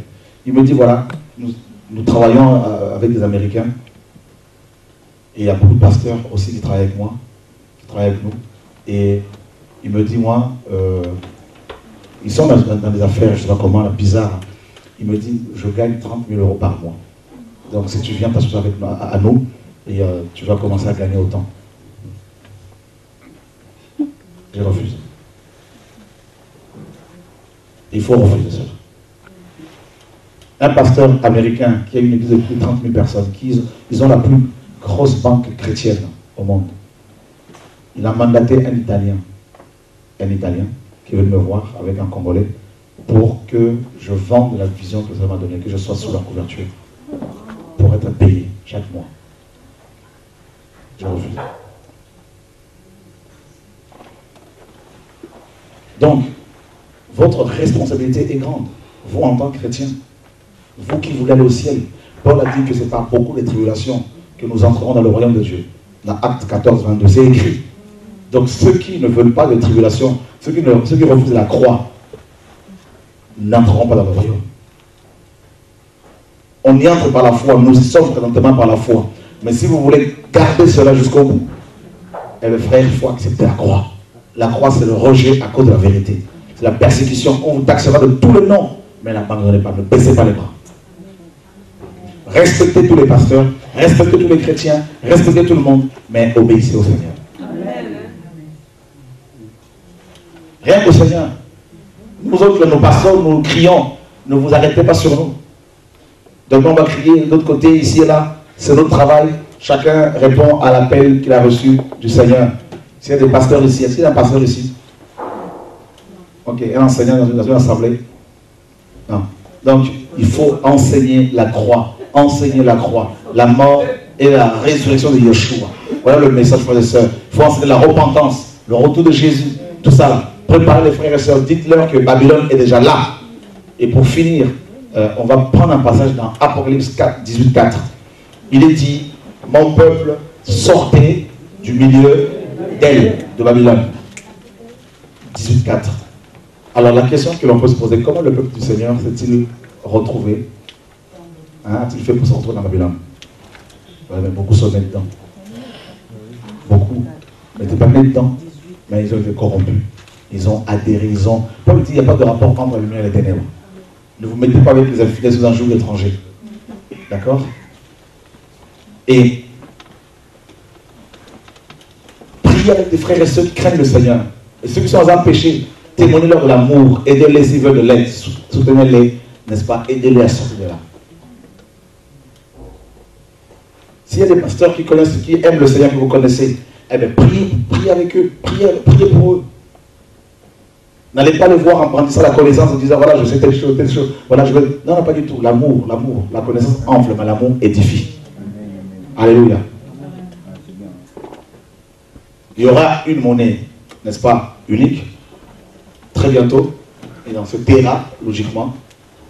Il y aura, bien sûr, une troisième guerre mondiale, donc euh, l'Armageddon, entre l'Iran, qui possède pratiquement déjà l'arme nucléaire, l'Iran et euh, Israël, donc euh, le Hezbollah, tout ça. Vous savez, qu'il y a eu la finule. Vous avez entendu, vous avez entendu parler de la finule? Voilà.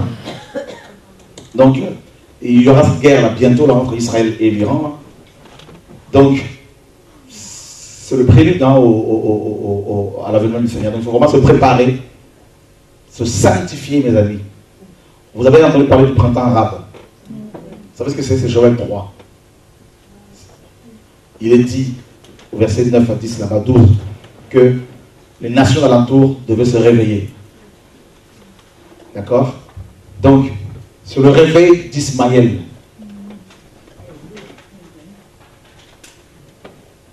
et c'est, on est vraiment, il n'y a plus de temps à perdre. Nous devons racheter le temps, nous sanctifier, nous préparer, régler nos affaires, régler nos conflits personnels. Parce que la septième trompette va retentir. Et on va partir. Pour être avec le Seigneur. Amen. Amen. Il y en a pas une question, j'ai entendu parler, un chrétien ne doit pas faire de, de prendre du crédit. Ou pour une maison, une voiture, n'importe Parce que si on, prend ça, c'est-à-dire on, euh, se mêle avec l'argent du monde et puis on ne sera pas, on ne va pas au parti, on ne sera pas en Est-ce que vous avez, euh, fait les, vous avez entendu parler de ça? Et comment pour ces crédits Je crois que quelqu'un qui prend un crédit pour une maison, en fait, personnellement, je ne prendrai pas de crédit pour acheter une maison. Ça, ça n'engage que moi. Il y a maintenant je me dis, une personne qui prend un crédit pour, pour un appartement, pour une maison, c'est comme si elle payait un loyer à, la banque. Donc si elle n'arrive pas à payer, ben, la banque euh, voilà, récupère ses biens, donc ça, c'est pas un problème. Mais aller prendre un crédit pour un portable, pour euh, des vêtements, pour tel, parce qu'on n'a pas forcément besoin de cela, c'est mettre la corde autour du cou. Voilà. D'accord? Il y aura de plus en plus de crise en Europe. Le nationalisme va de plus en plus prendre l'ampleur. Il y aura de plus en plus de partis xénophobes, tout ça. Et euh, de plus en plus. Il faut se préparer à ça. Depuis des années, je me dit il faut en parler, il faut en parler. De plus en plus. Et euh, la crise va vraiment s'intensifier dans les nations. Et euh, il y aura de plus en plus de soulèvements des peuples Et c'est alors justement que l'homme impie sera présenté officiellement. Voilà. Donc il faut vraiment se préparer dans la prière. Moi j'ai compris en tout cas, je prépare ma famille, mes enfants, tout ça dans la prière, les frères et sœurs, tant que l'on peut, tout ça. Mais j'ai compris une chose aussi, il faut que chaque chrétien développe sa relation personnelle avec le Seigneur. Je vous la d'abord. D'accord? Amen. On va s'arrêter là.